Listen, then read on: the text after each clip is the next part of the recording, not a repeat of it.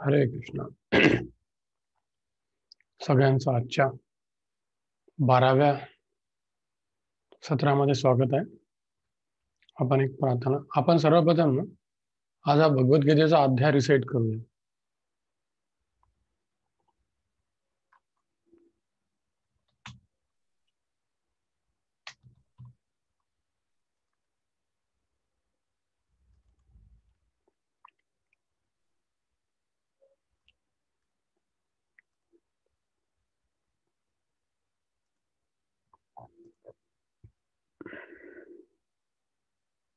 हरे कृष्ण अतः श्रीमद्भगवद्गीता द्वादशोऽध्यायः हम्म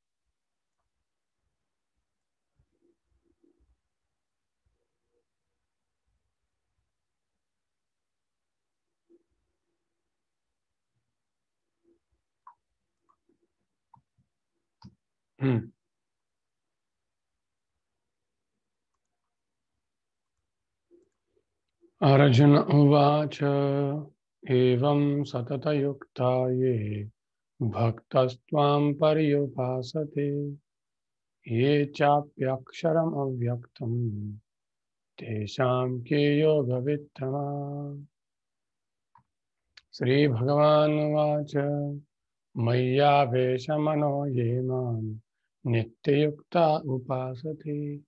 श्रद्धया पर्योपेतास्ते। मे युक्ततमा मतः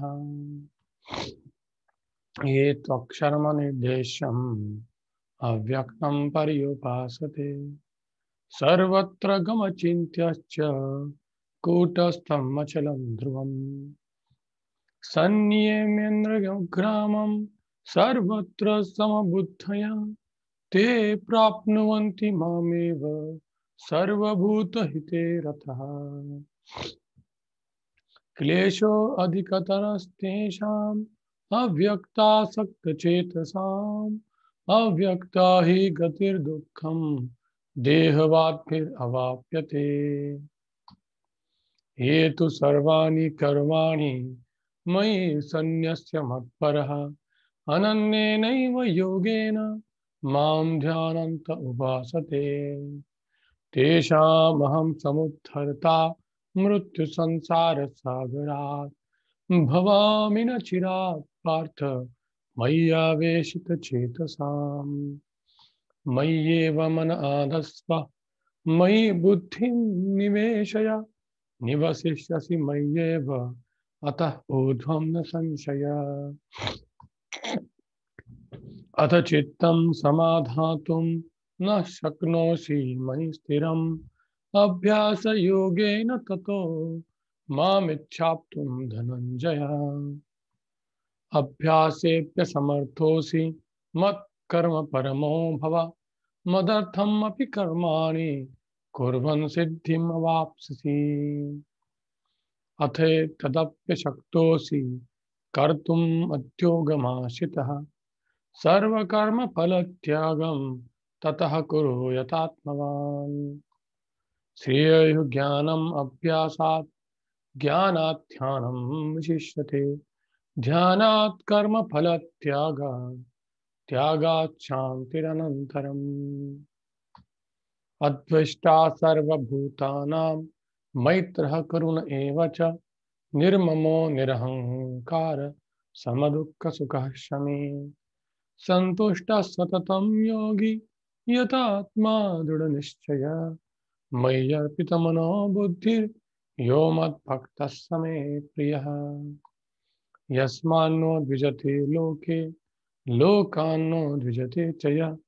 हर्षामर्षभयेद्योगे, मुक्तो यः च मे प्रियः। अनपेक्षशुचिर्दक्ष, उदासीनो गतव्यतः।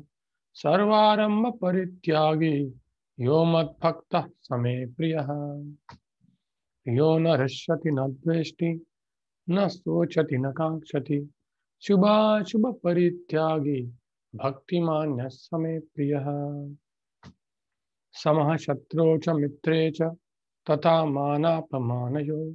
शीतोष्णसुखदुःखेषु समः सङ्गविवर्जितः तुल्यनिन्दास्तुतिर्मौनि सन्तुष्टो येन केनचित् अनिकेतः स्थिरमतिर्भक्तिमान्ये प्रियो नरः। ये तु धर्म्यामतमिदं यथोक्तं पर्युपासते। श्रद्धाना मत्परमा भक्तास्ते अतीव मे प्रियः। हरे कृष्ण हरे कृष्ण कृष्ण कृष्ण, हरे हरे। हरे राम हरे राम राम राम, हरे हरे। हरे कृष्ण। लेट्स हॅव प्रेयर आपण प्रार्थना करू। ॐ अज्ञानतिमिरन्धस्य ज्ञानाञ्जनशलाकया चक्षुरोन्मिलितं येन तस्मै श्रीगुरवे नमः।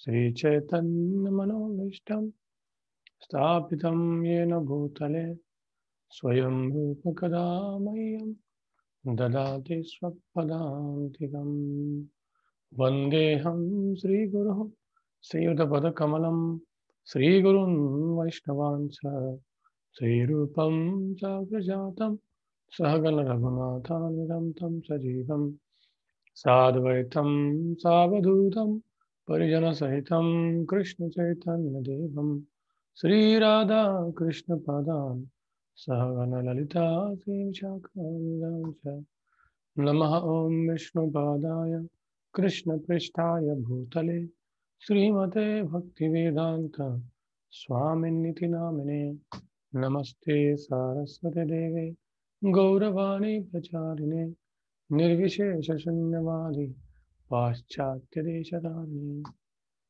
नमो महावदन्याय कृष्णप्रेमपदायते कृष्णाय कृष्णचैतन्य नामिने गौरत्विषे नमः। हे कृष्णकरुणा सिन्धो दीनबन्धो जगत्पते गोपेश गोपिका कान्त राधाकान्त नमस्तुते। तप्तकाञ्चन गौराङ्गी राधे वृन्दावनेश्वरि सुते देवी प्रणमामि हरिप्रिये। वाञ्छाकल्पतरुभ्यश्च कृपा एव च। पतितानां पावनेभ्यो वैष्णवेभ्यो नमो नमः। जय श्री कृष्ण चैतन्य प्रभु नित्यानंद श्री अद्वैत गदाधर शिवासादि गौर भक्तवृंद हरे कृष्ण हरे कृष्ण कृष्ण कृष्ण, हरे हरे। हरे राम हरे राम। राम राम, हरे हरे। हरे कृष्ण हरे कृष्ण. पुन्हा सर्वांचं एकदा स्वागत या बाराव्या अध्यायाच्या बाराव्या सत्रामध्ये भगवद्गीता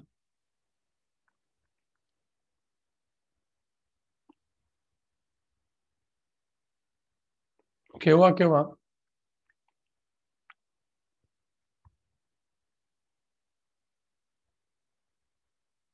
भगवद्गीतेमध्ये एक ते अकरा पर्यंत भगवंतांनी कर्मयोग बुद्धियोग कर्मसन्यास योग विश्वरूप दर्शन भरपूर काही सांगितलं.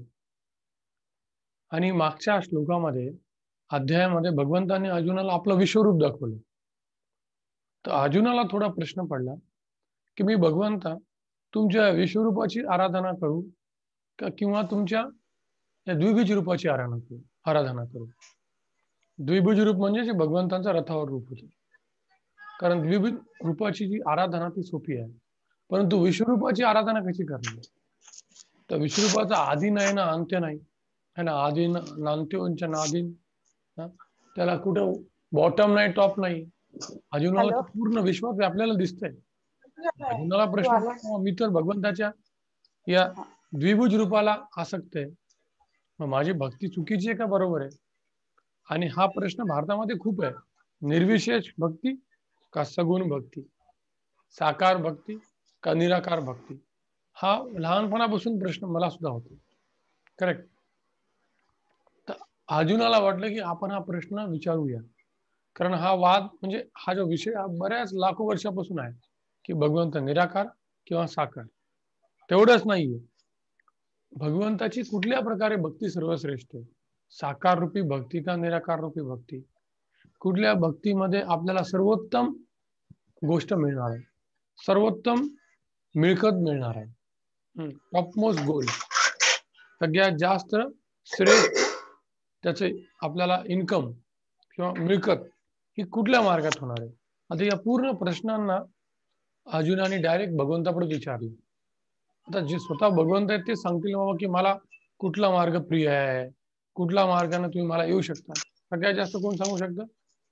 ज्या व्यक्तीची आपण आराधना करतो तो सांगू शकतो. हाच प्रश्न अर्जुनाने भगवंताला या बाराव्या अध्यायाच्या स्टार्टिंगला विचारला. हम्म आपण आता बघूया.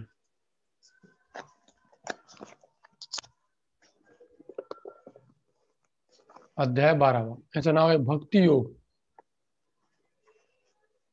भक्ती योग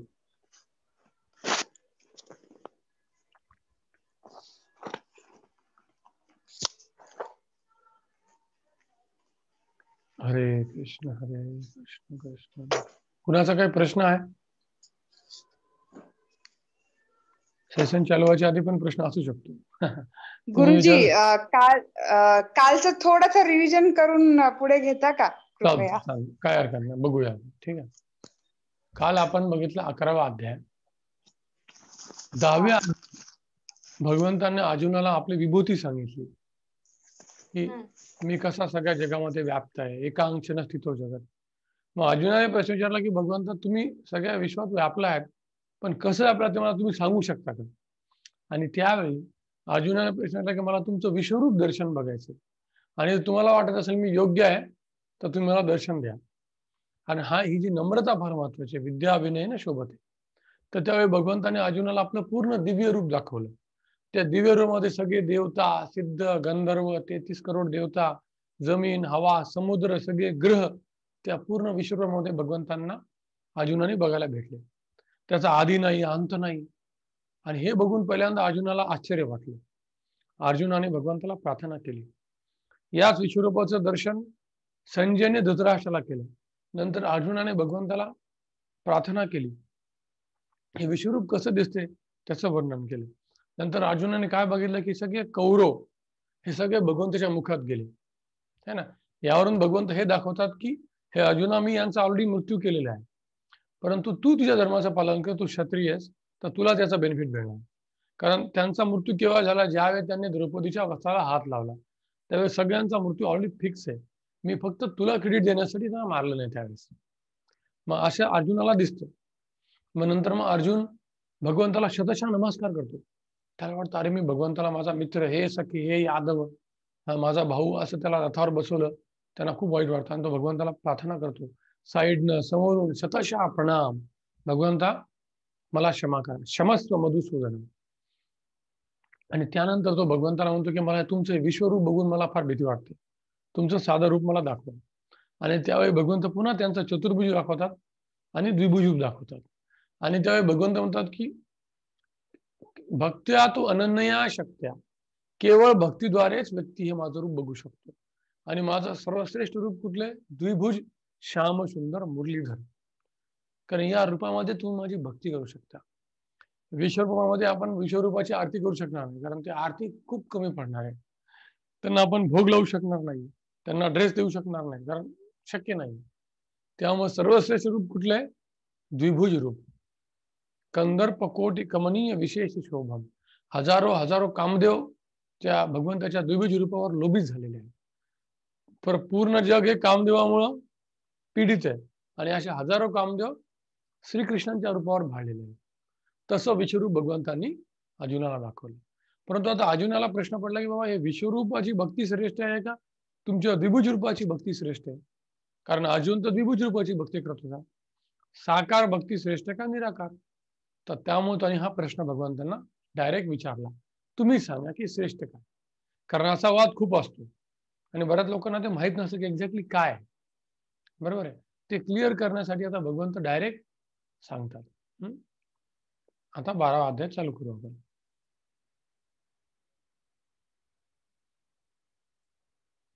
हे दहावा होता ना?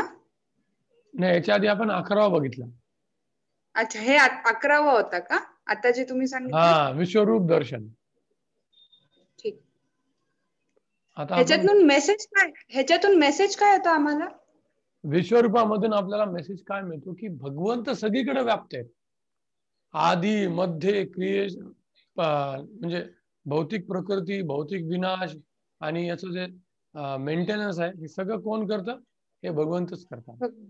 बरोबर आहे. आणि त्यामुळे आपल्याला बेस्ट की भगवंताला प्रणाम करणे आणि त्यांची भक्ती करणे. आपल्या आपल्या कर्माचा जे चांगले कर्म आहेत सत्कर्म ते भगवंतांना अर्पण करणे. कारण एरवी तरी अधर्मी लोकांचा नाश होणार आवडी दिसते आपल्याला. मग का आपण अधर्मी व्हायला पाहिजे? बरोबर आहे? आधी मध्ये अंत मध्ये सगळीकडे वर नीच आणि सगळे तेहतीस करोड देवता विश्वमध्ये सामावलेले आहेत. तर ज्यावेळी आपण भगवंताला प्रणाम करतो त्यावेळेस सगळ्या तेहतीस करोड देवतांना नमस्कार चाललेला आहे. यथा तरोर मूल निषेचनेन तृप्यंतीने स्कंद भुजोपशाखा। प्राणोपहारा चैतेंद्रियानाम तथैव अच्युतम अच्युतेज्य म्हणजे ज्यावेळेस आपण वृक्षाच्या मुळाला पाणी घालतो त्यावेळेस पूर्ण फांद्यांना पानांना फुलांना फळाला सगळीकडे पाणी घालतो.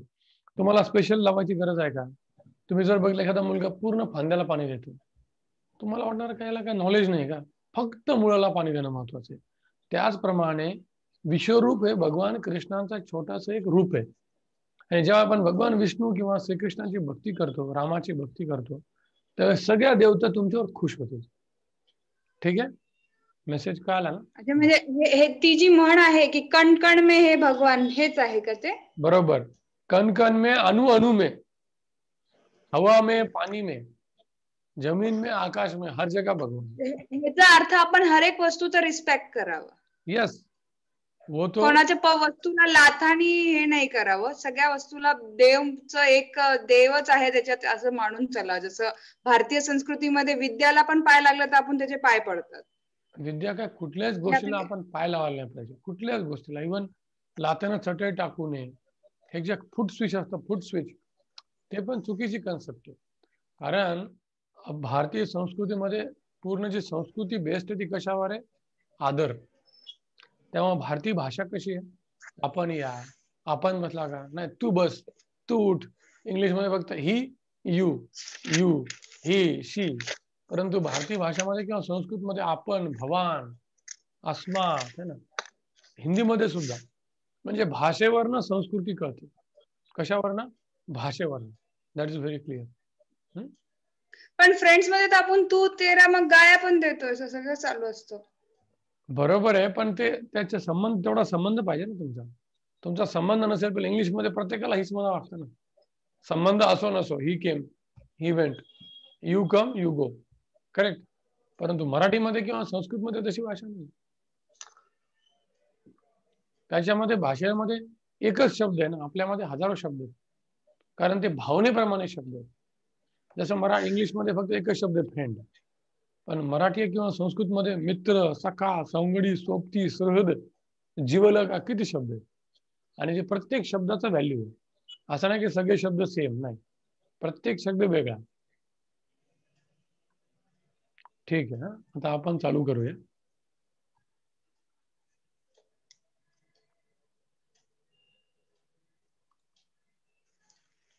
दिसतंय ना तुम्हाला आता भगवद्गीतेचा बारावा अध्याय.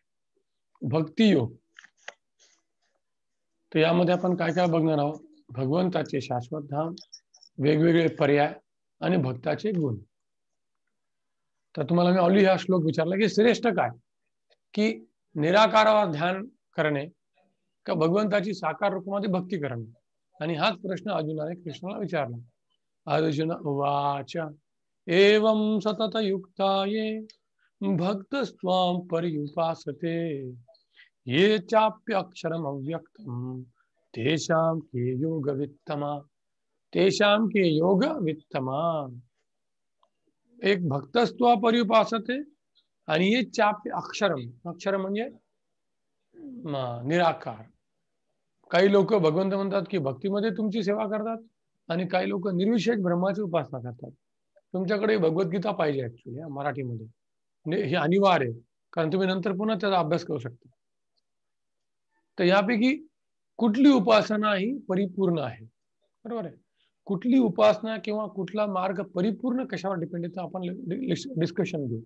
कुठली प्रक्रिया सर्वश्रेष्ठ असते? ती प्रक्रिया फॉलो करताना प्रत्येक व्यक्ती आनंददायी पाहिजे. बरोबर आहे. नंतर ती सर्वात सोपी पाहिजे. चौथा सहजपणे उपलब्ध पाहिजे. पाचवा प्रत्येकाला अधिकार पाहिजे. नंतर सहावा काय की त्यामध्ये लोकांना यश भेटलेलं आहे हे पण आपल्याला माहिती पाहिजे. खात्री पाहिजे. तर मी रस्ता सोडून चुकलो तर मला काय होणार? मी खड्ड्यात पडणार का? माझं भवितव्य काय? अयशस्वी झाल्यानंतर भवितव्य काय? हम्म तर तो मार्ग सर्वश्रेष्ठ.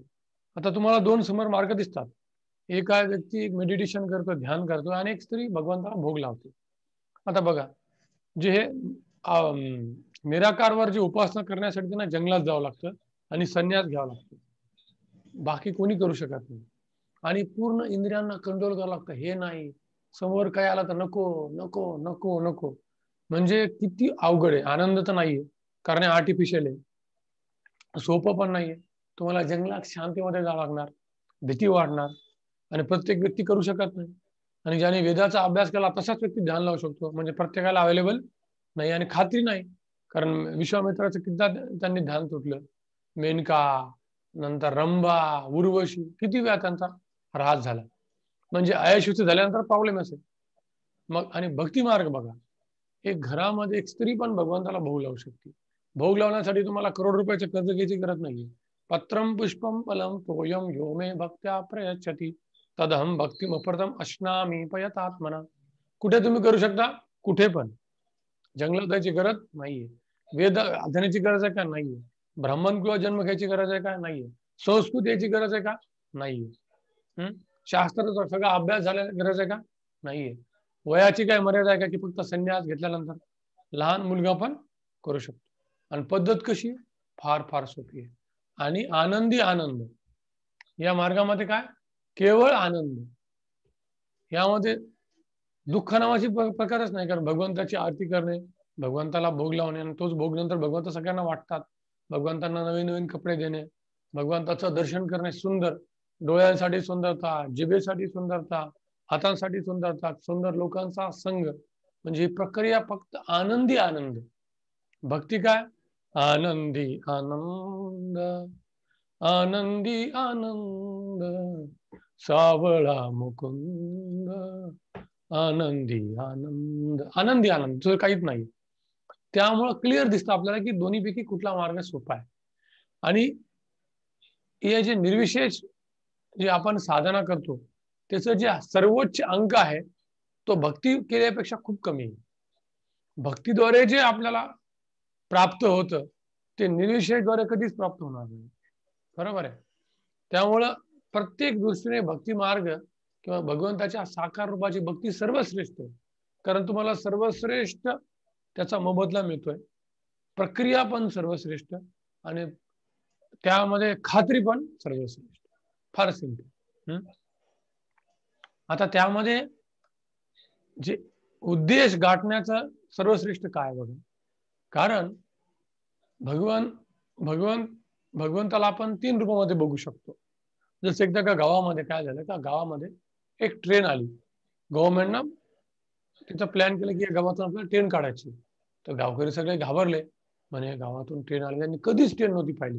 ही फार जुनी गोष्ट आहे. म्हणजे ब्रिटिशांच्या वेळी त्यावेळी ब्रिटिशांनी ट्रेन इंट्रोड्यूस केली. तर सगळे गावाला घाबरले अरे ट्रेन म्हणजे काय? आपल्या गावाला त्रास होईल लोकांचा मृत्यू होईल सगळे म्हणे नको ट्रेन पण गव्हर्नमेंट म्हणले कंपल्सरी तुम्हाला ट्रेन घ्यावं लागणार. आणि त्यांनी पटरी वगैरे टाकली. पण त्यांना ट्रेन नाही माहीत. तर त्यांनी अनाऊन्स केले की या दिवशी पाच वाजता ट्रेन जाणार आहे. सगळ्या गावकऱ्यांनी मिटिंग केली. अरे बापरे ट्रेन आहे. बरोबर पावणे पाच वाजता काही लोकांनी हिंमत केली म्हणजे बघून ते म्हणे. आणि त्यांनी दूर बघितलं धूर यायला धूर. सगळा धूर म्हणे अरे ट्रेन म्हणजे धूर धूर. सगळ्यांनी सांगितलं धूर धूर. आणि आवाज येतो धूर म्हणे अरे पुढे जाऊन बघतो मग तो पुन्हा आला. तितक्या ट्रेन समोरून दिसली अरे ट्रेन म्हणजे मोठी गाडी असते म्हणे. बस त्यात काय काय माहीत नाही असा डब्यासारखा दिसतो मोठा डब्बा. मग ते म्हणे अरे आता बघू तरी. मग ट्रेन त्या स्टेशनवर उभी राहिली अर्धा घंटा. मग लोक मध्ये गेले अरे आपल्यासारखेच लोक बसले तिथे बसलेत कोणी गप्पा मारते कोणी जेवण करते कोणी भजन करते अरे त्याच्यात काय आवड काय? आपल्यासारखंच मग त्यांची व्यक्ती दूर गेली. है ना? त्याचा अर्थ असा काय की भगवंताचं तीन रूपामध्ये दर्शन होतं. एक आहे ते ध्रुव म्हणजे काय? निराकार ब्रह्म. निराकार निर्विशेष ब्रह्म जो भगवंताच्या शरीराचा प्रकाश आहे. नंतर जेव्हा ट्रेन दिसली म्हणजे आता काय? भगवंताचं परमात्म्याचं रूप जे सर्व व्यापक आहे. आपण काय म्हणू? भगवंत सर्वत्र व्यापक आहे. तो परमात्मा आहे. आणि जेव्हा ट्रेन बघितली त्या ट्रेनच्या मध्ये लोक बघितले त्याचा अर्थ काय की भगवंताचं वैकुंठ धाम ज्यामध्ये सर्व भक्त तिथं राहतात त्यांच्या पूर्ण लीला करतात. आणि ते कसं आहे सगळं पर्सनल आहे. है ना? हे व्यक्तिगत आहे तिथं फक्त प्रकाश नाही आणि भगवंताचा प्रत्येक व्यक्तीशी संबंध आहे.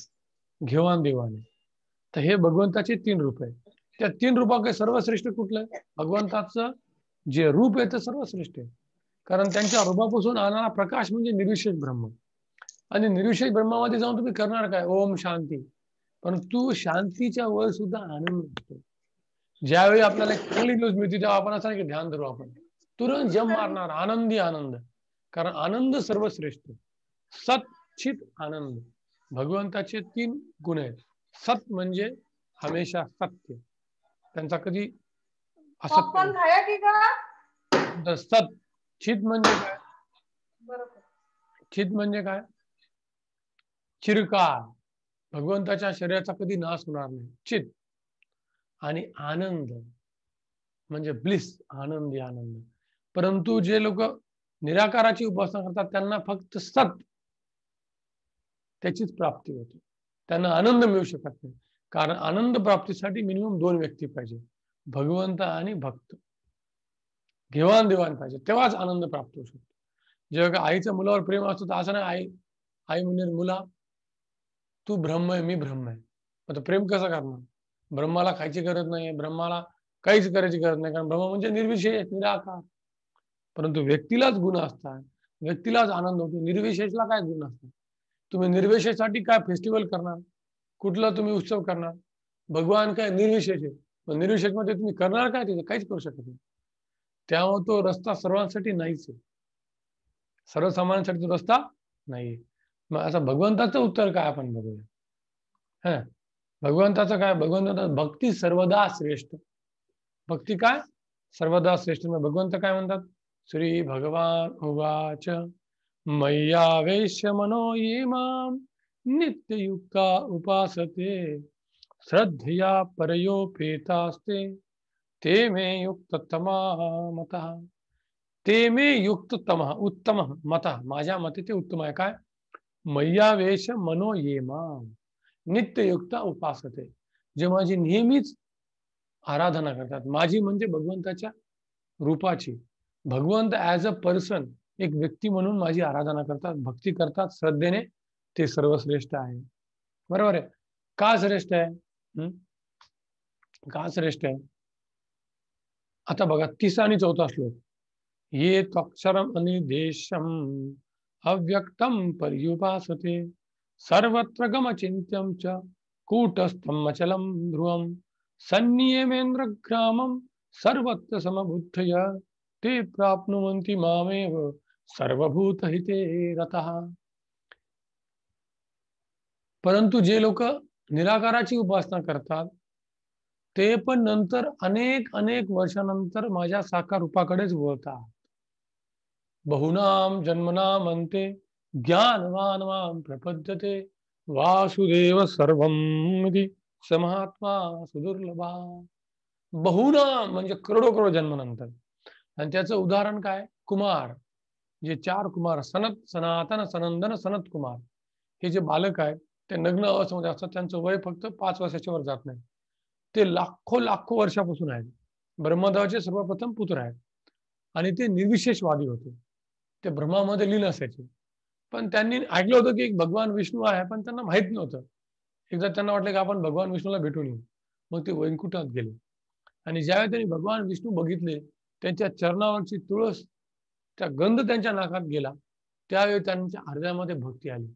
आणि त्यांनी निर्विशेष ब्रह्म सोडून दिला. आणि ते नंतर मग भगवंताचे महान भक्त झाले. है ना? त्याचप्रमाणे सुखदेव गोस्वामी. सोळा वर्षापर्यंत तो गर्भाच्या बाहेरच आलेले. आणि नंतर आले तर डायरेक्ट जंगलामध्ये पळून गेले. म्हणे मी जर राहिलो तर काय होणार? माझं पतन होणार. त्यामुळे मी इथं राहणार नाही. आणि ते निर्विशेष ब्रह्मावर तपस्या करायचे बस. त्यावेळी त्यांचे वडील व्यासदेवाने भागवतमचे श्लोक त्यांच्या शिष्याला शिकवले. आणि त्यांना सांगितलं जा तू आणि जिथे माझा मुलगा तपस्या करतोय तिथं जाऊन तुम्ही काय करा? ते श्लोक मोठमोठ्यानं म्हणा. मग ज्यावेळी त्यांच्या शिष्याने श्लोक म्हणल्यानंतर सुखदेव म्हणले हे श्लोक तुम्हाला कोणी शिकवले? भगवान कृष्णाचे म्हणून तुमच्या वडिलांना. ते वापस आले. आणि त्यांनी पूर्ण भागवतम ऐकलं आणि ते भगवंताचे मान भक्त झाले. तर अशा हिस्ट्रीमध्ये असे जे निराकारवादी पण भगवंताच्या भक्तीकडे अटॅक झाल्याचे असे अनेक एक्झाम्पल आहेत. परंतु भक्तीवाला व्यक्ती निर्विषयकडे अटॅक झाल्याचं एक एक्झाम्पल नाही. कारण त्याने एकदा अमृताची गोडी चाकल्यानंतर तो कारल्याकडे जाणार नाही. है ना? त्यामुळे भक्ती श्रेष्ठ. आणि नंतर भगवंत पुन्हा कारण सांगतात. क्लेशो अधिकतरस्तेषाम अव्यक्ता सक्तचेतसाम. अव्यक्ता ही गतिर्दुःखम देहवत अवाप्यते. क्लेशो म्हणजे हा मार्ग कसा अतिशय अतिशय क्लेशदायी ना. कारण जरी तुम्हाला खायची इच्छा असेल तुम्ही खाऊ शकत नाही बघू शकत नाही बोलू शकत नाही. नुसतं ध्यान इंद्रियावर कंट्रोल आणि आपण एक एका रूपासाठी अटॅच आहोत. म्हणजे आपण प्रत्येक ठिकाणी काय बघतो? आकार बघतो. म्हणजे एक नॉर्मल व्यक्ती तो एका फॉर्मवर अटॅच असतो. प्रत्येक गोष्टीचा एक आकारावरच आपण अटॅच आपण कुठलीही गोष्ट निराकार बघत नाही. जसं मोबाईल आहे. मोबाईल निराकार नाही मोबाईलचा आकार आहे. असं नाही की निराकार मोबाईल निराकार खोली निराकार जेवण. प्रत्येक गोष्टीला आकारच आहे. आणि सडनली आपण या आकाराशी इतके अटॅच असताना निराकार. त्यामुळे ते शक्य होत नाही आणि व्यक्ती त्या रस्त्यावर टिकू शकत नाही. परंतु भक्ती मार्ग कसा आहे की आपले जे काय गुण आहेत तो फक्त भगवंताच्या सेवेमध्ये लागतो. आपल्याला बदलायची काही गरज नाही. तेव्हा भक्ती मार्ग सगळ्यांसाठी सोपा आहे. आणि प्रत्येक व्यक्ती तो प्रॅक्टिस करू शकतो. करेक्ट आणि दुसरं काय आहे की या मार्गावर भगवंत स्वतः रक्षण करतात. त्या मार्गावर भगवंत रक्षण करत नाही. या भक्ती मार्गावर भगवंत काय म्हणतात? फार सुंदर श्लोक आहे. हे तू सर्वानी कर्मानी मयी संन्यस्य मत्पर अनन्येनैव योगेन माम ध्यानंत उपासते। तेषामहं समुद्धरता मृत्यू संसार सागरा। भवामी न चिरात पार्थम मैयावेशित चेतसा। भगवंत म्हणतात की मी ताबडतोब गरुडावर येऊन त्याला वाचवणार? तुम्ही काळजी नका करू। अशी गोष्ट आठव्या स्कंदामध्ये गजेंद्र मोक्षाची गोष्ट सेम गोष्ट. की गजेंद्र हत्ती होता. पण त्याला चुकून त्याच्या मागच्या जन्माच्या भक्तीमुळं भगवंताचं त्याला स्मरण झालं संकटामध्ये. जनरली भगवंताचं स्मरण संकटात होण्यासाठी फार पुण्य लागतं. त्याला भगवंताचं स्मरण झालं आणि त्याने भगवंताची प्रार्थना म्हणली आणि ताबडतोब भगवंत गरुडावर बसून आले आणि मगरमच्छाला त्यांना तोंडावर चक्र टाकलं आणि गजेंद्राला वाचवलं. म्हणजे का प्राण्याला भगवंत वाचवतो तर मनुष्याला काय वाचवणार? आणि त्याची फायटिंग एक हजार वर्ष चालल्यानंतर त्याच्या लक्षात आलं. आणि जो भक्त कॉन्स्टंटली त्यांचं नामस्मरण करतो हरे कृष्ण हरे कृष्ण कृष्ण कृष्ण हरे हरे हरे राम हरे राम राम राम हरे हरे. त्याच्यासाठी भक्त भगवंत काय येणार नाही? आणि भगवंत स्वतः आश्वासन देतात. असे कितीतरी एक्झाम्पल शास्त्रामध्ये. द्रौपदी आहे. द्रौपदीचे मोठमोठे पाच पती पण त्यांना वाचू शकले नाही. आणि त्यावेळी भगवंताने एका साडीच्या रंगामध्ये अवतार घेतला. आणि द्रौपदीला अनंत साड्या दिल्या. आणि द्रौपदीला कळू लागलं की भगवंत मला वाचवतोय. बाकी कोणी मला फक्त द्रौपदीने भगवंताला जेव्हा बोट कापलं होतं तेव्हा एक छोटासा आपल्या साडीचं एक कापड दिलं होतं छोटीशी पट्टी बांधली. तर ती एक छोटीशी पट्टी बांधल्यावर भगवंत तिचे उपकार कधीच विसरणार नाही. भगवंतांना हजारो साड्या दिल्या. आपण जर भगवंताला एक छोटी गोष्ट होती भगवंतांना काय दिलं द्रौपदीला? पाहतो एक छोटीशी पट्टी बांधली होती. अशी भगवंताची कृपा आहे. मग त्यांची शरण का घेऊन येतो आता आपण जर तुलना केली भक्ती मार्गाची आणि या मार्गाची तुलना करूया आपण. बरोबर आहे? मी ऑलरेडी सांगितलं की आपल्याला अव्यक्तावर ध्यान देणं फार अवघड आहे. कारण त्यात काही उत्सव नाहीये. आपण त्याच्यासाठी गाणे म्हणू शकत नाही. अव्यक्ताचे काय गाणे? त्यांचा आकारात नाही. करेक्ट ना? परंतु भारतामध्ये काय होतं की असे काही लोक आहेत जे म्हणतात की आपण फक्त भक्ती साकार रूपाची करावी परंतु आपला उद्देश काय? निराकारामध्ये विलीन होणे. है ना? चैतन्यपद शंकर मठ. याचा अर्थ काय की भक्ती मार्ग फक्त कशासाठी आहे? आपल्याला फक्त एक तो एक रस्ता आहे. पण आपला उद्देश काय की निराकार त्यामध्ये विलीन व्हायचं. तर हे चुकीचं आहे. तुम्हाला जर निराकारामध्ये विलीन व्हायचं तुम्ही निराकाराची भक्ती करा ना तुम्ही साकार रूपाची भक्ती का करता? कारण त्यांना माहिती आहे की सर्वसाधारण लोक फक्त साकाराचीच भक्ती करू शकतात. निराकाराची भक्ती करण्यासाठी कोणी त्यांच्या प्रोग्राममध्ये येणारच नाही. त्यामुळे ते भक्ती भक्ती म्हणतील पण शेवटी म्हणतील भगवंताचं रूपापेक्षा त्यांचं निराकार रूप श्रेष्ठ आहे. ते चुकीचे लोक आहेत. त्यांनी डायरेक्ट जर सांगितलं की आम्ही निराकारवादी आहोत तुम्हाला याच्या त्यांना काय ते काही मूर्ती दाखवणार नाही. लोक त्यांच्याकडे जाणार नाही. कारण शक्य नाही. सर्वसामान्यांना ते अट्रॅक्शनच नाही कारण तुम्ही निराकाराचा काय उत्सव करणार? तुम्ही रामनवमी कशी करणार? तुम्ही जन्माष्टमी कशी करणार? तुम्ही दसरा कसा करणार? आणि भारतामध्ये आता किती उत्सव आहे देवी देवतांना रूप आहे तर मग भगवंताला का रूप नाही? देवी देवतांना चांगलं रूप आहे. गणेश आहे दुर्गा देवी आहे. मग भगवंताला का रूप नाही? साधा प्रश्न आहे. तर त्यामुळं जसवानी करेक्ट तर तुलना जर केली तर आपण ऑलरेडी तुलना केली की भक्ती मार्ग हा सर्वश्रेष्ठ आहे. प्रत्येक दृष्टीने प्रत्येक दृष्टीने भक्ती मार्ग हा सर्वश्रेष्ठ आहे. करेक्ट आता त्यानंतर भगवंतांनी व कोणी जर अशी भक्ती करू शकले नाही तर त्यांनी चार प्रकारचे अध्यात्मामध्ये प्रकार त्यांनी सांगितले. है ना? आता सगळ्यात पहिल्यांदा त्यांनी सर्वोच्च भक्ती. तर आठवा श्लोक काय? मयी मन आदस्व मयी बुद्धिं निवेशया। निवस्यसी एव आता ऊर्ध्वम न संचय की तुझं मन आणि बुद्धी कॉन्स्टंटली माझ्यामध्ये लाव. आणि तू मला प्राप्त होशील. बरोबर आहे? ही सर्वोच्च भक्ती आहे. म्हणजे त्यामध्ये तुम्ही दुसरं काहीच करू शकत नाही. केवळ भगवंताची भक्ती. मन आणि जसं प्रल्हाद महाराज होते. भक्त प्रल्हाद. हा सती रौदती. ते हसायचे किंवा रडायचे किंवा जेवण करायचे त्यांना काहीच माहीत नव्हतं. त्यांना पर्वतावरून फेकलं तरी त्यांना काहीच फरक पडला नाही. कारण ते कॉन्स्टंटली भगवंताच्या स्मरणामध्ये होते. मतीर्न कृष्णे परतो सतो बाबा कृष्णामध्ये त्यांची मती होती. त्यांना उकळत्या तेलात फेकलं तरी काही फरक पडला नाही. पर्वतावरून खाली फेकलं तरी काही पडला नाही. हातीच्या पायाक लागला तरी काही पडलं नाही. विष पाहिला दिलं तरी काही फरक पडला नाही. सर्वोच्च भक्ती. कॉन्स्टंटली ते भगवंताचं स्मरण करायचे आणि त्यांचं नावस्मरण करायचे. पण जर भगवंत म्हणतात तुला हे शक्य नसेल तर तू काय कर मग? साधना भक्ती कर. बरोबर आहे? साधना भक्ती म्हणजे नववा श्लोक. अथ चित्तम समाधातुम न शक्नोसी मयी स्थिरम। अभ्यास योगेन ततो माम।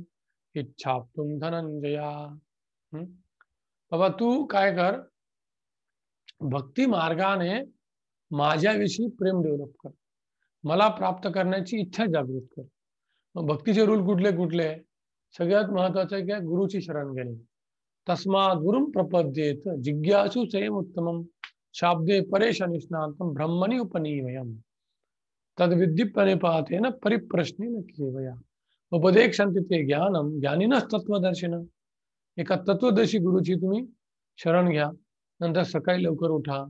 मंदिरामध्ये जा किंवा घरामध्येच भगवंताचे फ़ोटो ठेवा. भगवंतासोबत भगवंताचं नामस्मरण करा. भगवंतांना फुले व्हा. भगवंतासाठी भोग लावा. वेगवेगळे उत्सव सेलिब्रेट करा. भगवंताची कथा ऐका. श्रीमद भागवताने भगवद्गीतेचा श्रवण करा. आणि क्वालिफिकेशन काय? कुठलाही व्यक्ती करू शकतो. याला कुठलंच क्वालिफिकेशन नाही ह्या गोष्टींना. जातीचं बंधन नाही. तुमचे एज्युकेशन लेवल काय? आहे तुम्ही दिसायला कसे आहे? तुम्ही सिटीत राहता का? गावात राहता? कशाच बंधन नाही. ही आहे साधना भक्ती. मग साधना म्हणजे काय? साधन करणे. प्रयास करणे. मग अशी साधना केल्यानंतर हळूहळू आपल्याला आपलं मन चोवीस तास भगवंतावर रममान होऊ शकतं. तर साधना भक्ती सर्वश्रेष्ठ कारण ते प्रत्येक व्यक्तीला पॉसिबल आहे. पण कोणी म्हणलं नाही मला ते पण शक्य नाही बाबा. आपल्याच्यानं ते पण होणार नाही. ठीक आहे. मग भगवंत काय म्हणतात? की तू निष्काम कर्मयोग कर. निष्काम कर्मयोग म्हणजे काय? तुझ्या पूर्ण तू भगवंतासाठी काम कर. जसं मंदिर बांधण्यासाठी मदत करू शकतो. किचनमध्ये जाऊन वेगवेगळे भगवंताला भोग लावण्यासाठी किचन किचनवाल्यांना मदत करू शकतो. नंतर उत्सव सेलिब्रेट करण्यासाठी रथयात्रा करण्यासाठी मदत करू शकतो. अशा भगवंताचे खूप कार्य कोणी म्हणू शकतो मी माझा शेत देऊन तुम्ही मंदिर बांधा. मी बांधायला मदत करणार आहे. कोणी म्हणतो माझे जे लक्ष्मी किंवा पैसे मी मंदिरामध्ये देऊ शकतो. तुम्ही तुम्ही ऑर्गनाईज करा मला वेळ नाही. अशी लोक असतात की स्वामीजी हे पैसे घ्या पण आम्हाला तुम्ही इन्व्हॉल्व नका करू. आम्हाला अजिबात वेळ नाही. बरं ठीक आहे. तुम्ही करा तुम्ही महान तुम्ही भगवंताचा खूप प्रचार करा असं म्हणतो ठीक आहे. दॅट इज ऑल्सो गुड तो निष्काम करा. माझी काय अपेक्षा नाही. की तुम्ही मला मान मला बोलवलं पाहिजे. मलाच गेस्ट केलं पाहिजे. अशी त्यांची काय अपेक्षा नाही. बस करा. भगवंताचा प्रचार करायचे. भरपूर लोक असतात. ते केल्यानं काय होणार? हळूहळू तो भगवंताविषयी त्याची इच्छा जागृत होणार. हम्म जसं आमच्या टेम्पलमध्ये एक गाय होती. आणि एक मारवाडी फॅमिली ती गायला खाऊ घालण्यासाठी यायची हळूहळू. मग गायीला खाऊ घालता घालता मग भक्तांना विचारू लागले ते. त्यांना बोलवले काय करता? कसा करता? मग मंदिरात देऊ लागले. आणि आता ते इस्कॉनचे इनिशिएटेड भक्त आहेत आणि दररोज मंदिरामध्ये येतात. त्यांचा त्यांचा बिझनेस पण करतात पण पक्के भक्त झाले. म्हणजे हळूहळू भगवंतासाठी कर्म करत करत त्यांची इच्छा जागृत झाली. अरे मी भगवंताची भक्ती का करत नाही? एवढं कर्म करतोय. असे कितीतरी लोक जे भगवंतासाठी काही ठीक आहे आम्हाला डोनेशन द्यायचं. ठीक आहे डोनेशन द्या पण तुम्ही ते डोने जसं काही म्हणतात की आम्हाला भगव आम्हाला सगळ्यांना भंडारा द्यायचा आम्ही काय म्हणतो ठीक आहे भंडारा द्यायचा पण तुम्ही पण वाढायला या. कारण तुम्ही पण बघा कसं होतं ठीक आहे आम्ही येऊ शकतो. मग ते बघतील अरे कसं काय करतं? मग ते पण सर्विंग करतील मग दर्शन पण घेतील मग पुस्तक वाचतील मग हळू त्यांच्या चक्रा वाढतील आणि ते बघतो त्यामुळे प्रत्येकाला भगवंताच्या भक्तीमध्ये कुठल्या ना कुठल्या कार्यात एंगेज करणं महत्वाचं जसं स्वामी प्रभुपादने काय केलं स्टार्टिंगला हे सगळ्या अमेरिकन लोकांना त्यांनी भरपूर सेवा दिली. हे कर तू मंदिर मान रथ बनव. एका व्यक्तीला सिगरेटची सवय होती. त्यांच्या एका शिष्याला. परंतु तो कार्पेंटर होता. ते काय म्हणले की तू जगन्नाथ बलदेव सुभद्राची मूर्ती बनव. आता तो मूर्ती बनवता बनवता डाव्या हातात सिगरेट आणि उजव्या हाताने माप घेतो. मूर्ती बनली सिगरेट हातात. मग प्रभुपाजी म्हणले अरे तू भगवंताची मूर्ती बनवतो. भगवंताच्या तुझ्यामध्ये तुच्छ सिगरेट कशाला आणली? त्यांनी ताबडतोब सिगरेट फेकून दिली आणि नंतर सिगरेटला कधी हात लावला नाही. म्हणजे प्रभुपाजींनी त्यांना कसं भगवंताच्या सेवेची गोडी दिली आणि त्यामुळे तुच्छ सवयी निघून गेल्या. तर हे फार महत्वाची गोष्ट निष्काम कर्मयोग है ना? कोणी म्हणलं ते पण आम्हाला शक्य नाही बाबा आम्ही फार बिझी आहे. ठीक आहे कर्मयोग करा. काहीतरी सत्कर्म करा. शाळा बांधा अनाथाश्रय उघडा अनाथालय उघडा हॉस्टेल उघडा काहीतरी तुमच्या जे हार्ड अँड मनी आहे तर काहीतरी दुसऱ्याला द्या तुम्ही. त्याचा त्याग करा थोडा. त्यामुळे ऍटलिस्ट दुसऱ्याला दिल्यामुळे आपलं हृदय कसं होतं? हे सौम्य होतं. जास्त जमा केल्यानं हृदयामध्ये काय होतं? लस्ट काम वासना वाढते. नंतर कर्त्यापणाची इच्छा वाढते. पण तो दिल्यानं काय होतं? हृदय हे सॉफ्ट होतं. मऊ होतं. की आपल्या हृदयामध्ये पण काय? दया निर्माण होते. अरे द्यायला पाहिजे. गरिबांना द्यायला पाहिजे ना. तसा कर्मयोग करा तुम्ही. ऍटलिस्ट मग तो कर्मयोग केल्यानं काय हळूहळू मग तो निष्काम कर्म होईल निष्काम कर्म साधना भक्ती आणि साधना भक्ती उत्तम भक्ती. तर हे सगळे भक्तीचे काय आहेत वेगवेगळे टप्पे येते काय आहेत टप्पे. है ना? सर्वश्रेष्ठ काय? मन आणि बुद्धी चोवीस घंटा भगवंताच्या सेवेमध्ये. ते शक्य नाही ठीक आहे. साधना भक्ती करा. म्हणजे मार्गदर्शनाखाली प्रॅक्टिस करायचा प्रयत्न करा. ते शक्य नाही कृष्णासाठी काहीतरी सेवा करा. आणि ते पण शक्य नाही काहीतरी सेवा करा. बरोबर आहे? असे भक्ती मार्गाला विविध टप्पे भगवंत सांगतो. त्यानंतर भगवंत म्हणतात की मला कोणी प्रिय होणार आहे? मला प्रिय व्यक्ती कोण आहे? तो सगळ्यात सुंदर आहे सगळ्यात पैसेवाला आहे सगळ्यात जमीनदार तो प्रिय आहे का? भगवंताला कोण प्रिय आहे? कारण प्रत्येकाला भगवंताला प्रिय व्हायचं बरोबर आहे ना? प्रत्येकाची असतं की आपण भगवंताला प्रिय व्हावं. तर भगवंतांनी हे प्रिय होण्यासाठी वेगवेगळे काय सांगितले त्यांनी? गुणधर्म सांगितले. की माझ्या भक्तामध्ये काय गुणधर्म असतात? अद्वेष्टा सर्वभूतानां मैत्र करुण एवच. निर्ममो निरहंकार, समदुःख सुख क्षमी संतुष्ट सततम योगी यतात्मा दृढ निश्चय मय्यार्पित मनोबुद्धिर मदभक्त समय प्रिया. काय तो? अद्वेष्टा. तर कुणाचा द्वेष करत नाही. तर सर्व जीवांचा सरद मित्र आहे. तो मिथ्या अहंकारापासून मुक्त आहे. तो स्वतःला स्वामी समजत नाही. जो सुख दुःखामध्ये समभाव लागतो जो समक्षील सदैव तृप्त आत्मसंयमी आहे आणि आपले मत मन व बुद्धी माझ्या स्थिर करून दृढ निश्चयाने भक्तीमध्ये युक्त झालेला आहे. तो मला अत्यंत प्रिय आहे. बरोबर आहे. नंतर यस्मानो द्विजते लोको द्विजते चया हर्षामर्ष भयोद्वेगे भयोद योगे समययुक्त सच मे प्रिय। तो कसा आहे तो? ज्याच्यामुळे कोणी उद्विग्न होत नाही जो इतर कोणामुळे उद्विग्न होत नाही, जो हर्ष, दुःख, भय चिंता यामध्ये समभाव राखतो तो मला अत्यंत प्रिय आहे.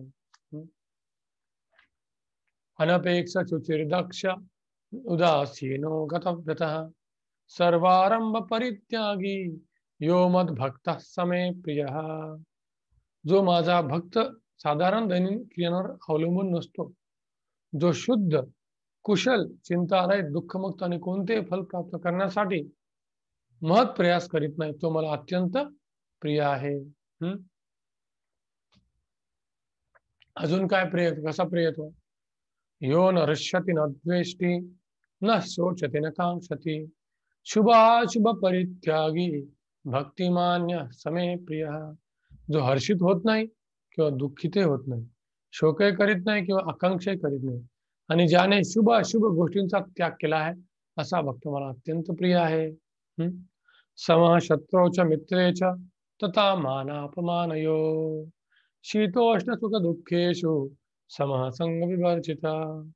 तुल्य निंदा स्तुतीर्मौनी संतुष्टो येन केनचित् अनिकेतः स्थिरमती भक्तिमान समे प्रिय जो मनुष्य शत्रू आणि मित्र यांच्या ठिकाणी समान असतो जो मानापनान शीतोष्ण सुख दुःख स्तुती निंद यामध्ये समभाव राखतो जो कुसंगापासून नेहमी मुक्त असतो सदैव शांत आणि जे काय मिळत असेल त्यात संतुष्ट असतो जो घरादाराची काळजी करत नाही ज्ञानामध्ये स्थित आहे आणि भक्तीमध्ये अत्यंत संलग्न झालेला आहे तो मला अत्यंत प्रिय आहे तर इस्कॉनमध्ये एक स्वामी आहे ज्यांचं नाव जयपताका स्वामी ते सन्यासी आहेत आणि हैदराबादला आमचं टेम्पल होतं. तर तिथे एका व्यक्तीनं आम्हाला दोन जमीन दानमध्ये देऊन टाकले डोनेशनमध्ये म्हणजे तुम्ही तिथं मंदिर बांधा शेती करा काय करतात करा. परंतु झालं काय? त्या एरियातला जो गुंडा होता त्यांनी आपल्या तिथं माणसं लावली. आता भक्तांनी पोलिसाला कंप्लेंट केली पण तो गुंडा फार डेंजर होता. तर पोलिसांनी थोडी म्हणजे ढिलाढाली केली. तर भक्त जाऊन त्यांना इतकं रागवले म्हणे तुम्ही काय पोलीस? तुम्ही अधर्मी लोक आहात असो तसं. म्हणजे पोलीस ऍक्शन घेणार होते पण त्यांनी थोडं डिले केला. तर यांनी थोडा त्यांना रागवले. मग नंतर मग पोलिसांनी काहीच ऍक्शन घेतली नाही. मग भक्तांना ते येऊन त्रास देऊ लागले. मंदिरामध्ये. म्हणजे मग त्यांना कळलं की अरे आता काय करावं? पोलीस तर आपल्याला काय करत नाही. तर करणार काय? मग त्यांनी त्यांच्या गुरुला सांगितलं की असं असं मॅट्रिक घडलेलं आहे. सगळं त्यांनी सांगितलं. त्यांना समजलं की काय प्रॉब्लेम झाला. मग त्यांनी काय केलं? ते डायरेक्ट पोलीस स्टेशन मध्ये गेले. संन्यास, है ना? भारतीय लोकांना माहिती संन्यास आणि तो जो पोलीस ऑफिसरच्या डायरेक्ट त्यांनी चरणावर दंडवत प्रणाम तो पुलिस बोला अरे अरे महाराज, आप क्या आप तो भगवान के भक्त हो, ऐसा सब गलत है. तेवने देखो, हमारे लोगों से कुछ गलती हो गई। इसलिए आप उनको इतना सजा मत दीजिए। वो भगवान का कार्य कर रहे हैं गुंडे लोग उनको परेशान कर रहे हैं। आपके हाथ में सब कुछ है। मैं जानता हूँ कि हमारे लोगों ने आपको थोड़ा गलत बोला है, लेकिन मैं आपको विनम्र कहता हूँ कि कृपया आप हमें मदद कीजिए। हम इस शहर में आपको मंदिर बनाने का प्रयास कर रहे पुलिस मन ले आप टेंशन मत लीजिए स्वामी जी, आप जाइए। आपकी विनम्रता से मेरा हार्ट टूट गया है। आप सब भूल जाए अभी हम पूरा देखो कैसा करते मग पोलिसांनी अशी ऍक्शन घेतली त्या गुंडांना मारू पळून लावले. म्हणजे त्या शिकायला काय म्हणते की आपल्याला कधी पण प्रत्येकाशी बोलताना वागताना प्रेमानच वागलं पाहिजे. आदरयुक्त राहिलं पाहिजे. आणि प्रत्येकाला मान दिला पाहिजे. त्या त्या पदाचा त्याच्या ज्ञानाचा त्याच्या भक्तीचा. आणि तेव्हा आपला फायदा होतो. नाहीतर काय होतं? नुकसान होतं. आणि असा व्यक्ती प्रत्येकाला प्रिय असतो. हम्म. धीरा धीर जनप्रिया प्रिय करो. निर्मस्तरो पूजितो.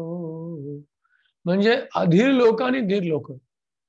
ज्यांचं चरित्र चांगलं आहे किंवा ज्यांचं चरित्र वाईट आहे त्या त्यांना पण भगवंताचा भक्त प्रिय असतो. कारण भक्ताच्या हृदयामध्ये त्यांच्याविषयी द्वेष नसतो. जसं इस्कॉनमध्ये एक डिवोटी होते ज्यांचं नाव जयानंद प्रभू. ते अमेरिकेच्या टेम्पलमध्ये होते अमेरिकन बॉडीमध्ये होते ते. परंतु ते एवढे प्रिय होते त्या एरियामध्ये की त्यांना सांगितलं की मी जगन्नाथची यात्रा करा अरेंज आता जगन्नाथची यात्रा करायची म्हणजे त्यासाठी तुम्हाला रथ बनवावं लागणार त्यासाठी लाकूड लागणार कारागीर लागणार भरपूर आहे. नंतर प्रसादाची व्यवस्था. त्यांना कोणीही मदत करायला कोणी नाही. मग ते काय करतील? दारूच्या अड्ड्यामध्ये जातील. आणि हरे कृष्ण मंत्र म्हणतील की सगळे दारुडे उभं राहतील. आणि ते आपली झोळी पसरणार ताबडतोब पैसे त्यांना. की मला भगवंताची यात्रा करायची कृपया तुम्ही पण या आणि मदत करा. ताबडतोब. दुकानात जातील कोणी दूध कोणी दही कोणी घी शुगर ग्रेन नंतर कामगार कोण? ह्या सगळ्या लोकांना ते घेऊन जातील. मला मदत करा प्लीज मग मदत करतील. आणि बारा वाजता त्यांना ते सुंदर प्रकारे अतिशय भगवंताला भोग लावून हलवा खाऊ घालतील. मग दुसऱ्या दिवशी पुन्हा सगळे लोक रेडी असं करत करत एका महिन्यात मोठा रथ बनवतील. एकाही व्यक्तीची मदत मंदिरातून घेता न घेता. कारण सगळे लोक त्यांना खूप प्रिय होते. आणि सगळ्यांना ते खूप प्रिय होते. ज्यावेळी त्यांनी त्यांचा देह सोडला तर सगळ्या एरियातले सगळे दारुडे वैश्या सगळ्या तिथं आऊन त्यांनी त्यांच्यासाठी प्रार्थना केली. म्हणजे यांच्यासारखा मनुष्य आम्ही बघितला नाही. तो सगळ्यांना आदराने बघतो. सगळ्यांमध्ये तो चांगलं चांगुलपण बघतो. आणि ज्यावेळेस एखादी भक्त एखाद्या कार्यासाठी जातील तर ते म्हणतील तुम्ही जयानंदच्या मंदिरातले ना? ठीक आहे. तुम्हाला जे पाहिजे ते घ्या. कारण तो एवढा चांगला मनुष्य की तो जिथं राहतो ते सगळे लोक चांगले असतील. म्हणजे असा भक्त सगळ्यांना प्रिय असतो. तो अप्रिय कोणाला होत नाही कारण तो कोणाचा द्वेष करत नाही. जसं तुकाराम महाराज. जेव्हा रामेश्वर शास्त्रींनी तुकारामाला आज्ञा की तू तुझे सगळे ग्रंथ पाण्यात बुडव आणि इथून पुढं काहीच तू गाथा करू नकोस. ते ठीक आहे तुमची जशी इच्छा आहे. परंतु काही दिवसानं रामेश्वर शास्त्राला पूर्ण अंगाला आग झाली आग. सगळ्यांना माहिती. आणि त्यावेळी तुकाराम महाराजाला समजलं तुकारामाला काय झालं तुम्हाला? काय मदत करू? त्याने त्यांच्या अंगाला स्पर्श केला भगवंतांना प्रार्थना केली ताबडतोब त्यांची आग संपली आणि त्यावेळी रामेश्वर सातांना समजलं की अरे रे किती पाप कर्म केले मी. ताबडतोब ते त्यांच्या पाया पडू आले पण तुम्ही नको तुम्ही ब्राह्मण नाही. म्हणजे भक्त कधीच दुसऱ्याला खाली शिकत नाही. तशीच गोष्ट येते अंबरीश चरित्र. नवव्या स्कंदामध्ये अंबरीश हे राजा होते ग्रस्त होते साधारण व्यक्ती परंतु भगवंताचे महान भक्त. आणि दुर्वासा मुनी महान तेजस्वी वैरागी लाखो साठ साठ हजार शिष्य त्यांचे. आणि एकदा हे अमरीश महाराज त्यांनी आपल्या प्रजेच्या कल्याणासाठी एकादशीचं व्रत केलं होतं. प्रजेच्या कल्याणासाठी.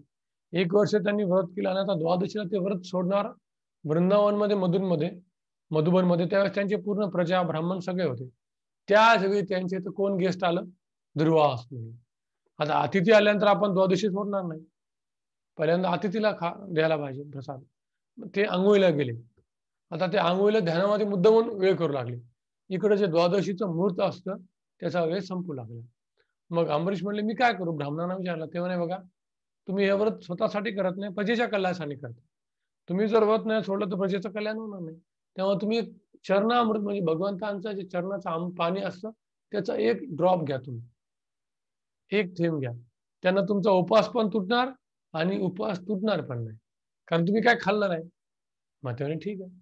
त्यांनी सल्ला घेतला पण दुर्वासला एक आलं की त्यांनी एक पाण्याचा थेंब घेतला. त्यांना खूप राग आला. ते म्हणे की तू भगवंताचा भक्त नाहीस. तू दंबी आहेस. तो अतिथीचा सन्मान केला नाही. त्यांनी एक केस आपटला. इतकं अकरा विकरा राक्षस निर्माण झाला. त्यांनी अंबरीशवर अटॅक केला. अंबरीशने फक्त हात जोडले. भगवंताची जी इच्छा ते होऊ द्या. भगवंत म्हणतील तर माझा मृत्यू नाहीतर नाही. आणि पण भगवंताने ताबडतोब सुदर्शन चक्र सोडलं आणि त्या राक्षसाला मारलं. आणि लागलं दुर्वासाच्या मागे. दुर्वासनं जेव्हा बघितलं दुर्वास ताबडतोब पळाले. ब्रह्माच्याकडे गेले मला वाचवा. ब्रह्माजी म्हणले तू आधी निघितून ते चक्रा सगळ्या ब्रह्मा ब्रह्मलोकाला समाप्त करते निघितून मी तुला वाचू शकत नाही शिवजीकडे गेले. शिवजी म्हणले सॉरी रॉंग मा इथं येऊ शकत नाही. विष्णूचे चक्र आहे ते मी काय करू शकत नाही. तू ताबडतोब निघून जा. मग शेवटी कुठे गेले? विष्णूकडे. विष्णू म्हणले अरे दुर्वास तू माझ्या भक्तांना त्रास दिलाय. साधवो हृदयम मय्यम साधूनाम हृदयम तुहम मदत्यन्ने न जानाती नाम तेभ्यो मनागपी. अरे मी साधूच्या हृदयात राहतो. आणि साधू माझ्या हृदयात राहतात आणि तू त्या साधूवर अत्याचार केला. त्या अमरीश अमरीश महाराजांनी काय केलं तुला? तू त्यांना मारण्यासाठी राक्षस पाठवला. जोपर्यंत तू अमरीशाची सेवा मागणार तोपर्यंत मी पण काय करू शकत नाही. वापस जा. वापस दुर्वास आले त्यांनी अमरीशच्या चरणावर डोकं ठेवलं. अमरीश म्हणले अरे तुम्ही इथं संन्यास आहे तुम्ही काय करता? ते असं नाही म्हणले बघितलं ना बघ दुर्वास बघ तसं कधीच म्हणणार नाही.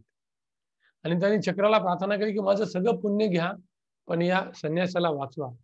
आणि चक्र काय? चक्र त्यांना चक्र काहीच करणार नाही. आणि त्यावेळी त्यांनी दुर्वासला बसवलं. त्यांनी उपवास केला होता इतके दिवस. आणि त्यांची दुर्वासची क्षमा मागितली की माझ्यामुळे तुम्हाला एवढं फिरावं लागलं मला क्षमा करा. आणि त्यावेळी दुर्वाच्या डोळ्यातून पाण्याच्या धारा की काय भगवंताच्या भक्ताचं चरित्र मान गर्व नावाची गोष्टच नाही त्यांच्या हृदयामध्ये. अरे मी त्यांना मारायचा प्रयत्न केला. तरी पण ते काय म्हणतात की माझीच चुकी. भौतिक जगामध्ये आपली चुकी नसताना लोक तुमची चुकी म्हणतील. आणि आपली चुकी असून आपण ती लपवतो. पण अंबरीशचं चरित्र काय? की त्यांची काही चुकी नसताना ते म्हणतात की माझी चुकी माझ्यामुळे तुम्हाला त्रास झाला क्षमा करा. आणि त्यावेळेस पासून दुरासमणी फक्त भगवंताच्या भक्तांचं गुणगान करत फिरतात. ते म्हणतात की आ असे भक्त कधी भेटणार आहे मला? है ना? कधीच फार ते म्हणतात की भगवंताचे जे भक्त आहे ना ते फार दुर्मिळ आहे. हम्म नारायण परायण सुदुर्लभ प्रशांत आत्मा कोटीश्वपी महामुने. कोटी कोटी साधकांमध्ये नारायणाचा नारायण परायण भक्त मिळू शकतो. तर असे भगवंताच्या भक्ताचे सुंदर गुणधर्म आहेत. आणि आपण काय बघितलं? की भगवंताचे भक्त भगवंतांना प्रिय काय? की आपण स्वतःला कसं प्रस्तुत करतो? नम्रतेनं. दुसऱ्यांशी वर्तन कसं करतो? की जसं आपण भगवंताशी करू. प्रतिक्रिया म्हणजे आपला मान झाला सन्मान झाला. सन्मान झाला की माने अपमान झाला तर काहीच नाही. सेम प्रक्रिया. आणि भगवंताशी आदान प्रदान कशी करणार? भगवंताची भक्ती कशी करणार है ना? स्वतःला कसं प्रस्तुत करणार? निर्मम. माझं काहीच नाही. हे प्रत्येक हे दुसऱ्याच आहे. जसं तुकाराम महाराज त्यांच्या सगळ्या घराचं सामान त्यांनी डोळेसेमध्ये दिलं. ऑफकोर्स प्रत्येक ग्रस्त असं करू शकत नाही. पण तो प्रिन्सिपल शिकण्यासाठी. दुसऱ्यांशी वर्तन कसं? प्रेमानं. अतिशय प्रेमानं. जसं आपण आपल्या आईवडिलांशी भगवंताशी कसा संबंध करू तसं प्रत्येक व्यक्तीला ट्रीटमेंट दिली पाहिजे. आणि प्रतिक्रिया काय? किती जरी दुःख झालं तरी हसतमुख आणि किती जरी सुख असलं तर जास्त दाखवायची गरज नाही. कारण पर दुःख दुःखी आणि पर सुख. सुखी हम्म आणि भगवंताशी आदान प्रदान कशी? भक्तिमय. भगवंतावर पूर्ण मन आणि बुद्धी केंद्रित. भगवंताच्या भक्तीमध्ये किती जरी अडथळे आले तरी दृढ निश्चयानं भक्ती आणि कृष्ण सेवेमध्ये हमेशा तत्पर. असा भक्त हा सर्वांना पण प्रिय असतो. आणि तो भगवंतांना पण प्रिय असतो. शिक्षा काय? की जोपर्यंत आपले सर्व सद्गुण आपण कृष्ण भगवंताच्या सेवेत लावणार नाही तोपर्यंत आपण कृष्णास प्रिय होणार नाही. ही फार महत्वाची शिकून आपल्याला अशा या अभ्यास या अभ्यासातून मिळते. ठीक आहे? आणि दुसरं शेवटचं. आपण काय काय बघितलं त्यामध्ये आता रिव्हिजन करूया. आपण काय बघितलं की कृष्णाला अर्जुनाने सरळ प्रश्न विचारला की निराकाराची पूजा करू का साकाराची पूजा करू? आणि सर्वश्रेष्ठ काय? आणि भगवंतांना क्लिअर सांगितलं की माझी भक्ती सर्वश्रेष्ठ आहे. निराकार रूपाची भक्ती ही फार मुश्किल आहे. आणि त्यामध्ये तुम्हाला हायेस्ट परफेक्शन मिळणार नाही. त्यात सर्वोत्तम लाभ मिळणार नाही. त्यामुळे तुम्ही माझी भक्ती करा. मग कोणी म्हणेन पण आम्हाला अशी हायेस्ट भक्ती होत नाही. तर ठीक आहे भगवंत काय म्हणतात? ठीक आहे. पूर्ण भक्ती होत नाही तर साधना भक्ती करा. गुरुच्या अंडर माझा अभ्यास करायचा प्रयत्न करा माझ्यासाठी कर्म करा ठीक आहे. ते पण शक्य नाही. निष्काम कर्मयोग करा. भगवंतासाठी काहीतरी कर्म आहे मंदिर बांधणे भगवंताचे पेंटिंग करणे भगवंतासाठी उत्सव साजरे करणे रथ बांधणे बरेच गोष्टी तुम्ही भगवंताच्या मंदिर बांधू शकता. ते पण शक्य नाही तर ऍटलिस्ट काहीतरी कर्मयोग करा. की तुमचे जे मिळकत आहे त्याचा काहीतरी दान धर्म करा. शाळा उघडणे अनाथालय बांधणे. कारण मग जोपर्यंत आपण त्या करत नाही आपल्या गोष्टीचा तोपर्यंत आपण हायर लेवलला जाऊ शकत नाही. आणि हे झाल्यानंतर भगवंत म्हणतात की मला सर्वात प्रिय गुणधर्म कुठले आहेत? कुणाचा द्वेष न करणे प्रत्येकाला प्रेमाने वागणूक करणे विनम्रता ठेवणे आणि माझ्या भक्तीमध्ये सदैव मग्न राहणे. आणि असा भक्त मला हा अतिशय प्रिय आहे. हरे कृष्ण हरे कृष्ण कृष्ण कृष्ण हरे हरे हरे राम हरे राम राम राम हरे हरे. कुणाचा काही प्रश्न?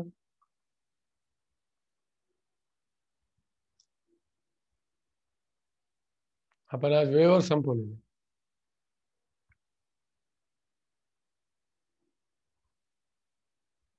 हरे कृष्ण हरे कृष्ण कृष्ण कृष्ण हरे हरे. हरे राम यस. वेळेवर नाही. थोडं जास्त टाइम होत तरीच आवडतो आम्हाला. काही प्रॉब्लेम नाही नाही. पण मग प्रश्नोत्तरासाठी मी वेळ देण्यासाठी वेळ दिलेला आहे कारण मग कधी कधी प्रश्नोत्तर खूप लेट जातात.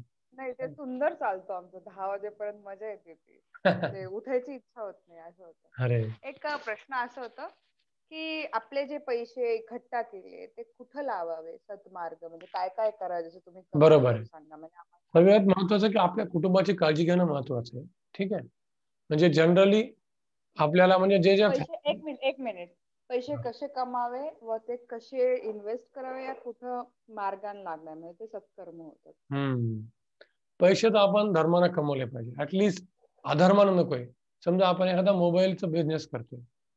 हा मोबाईलची किंमत दहा हजार रुपये. ठीक आहे तुम्ही जास्त पैसे लावा बिझनेस करा. पण असं नाही की दहा हजारामध्ये पाचशे रुपयाचा मोबाईल डुप्लिकेट देणे.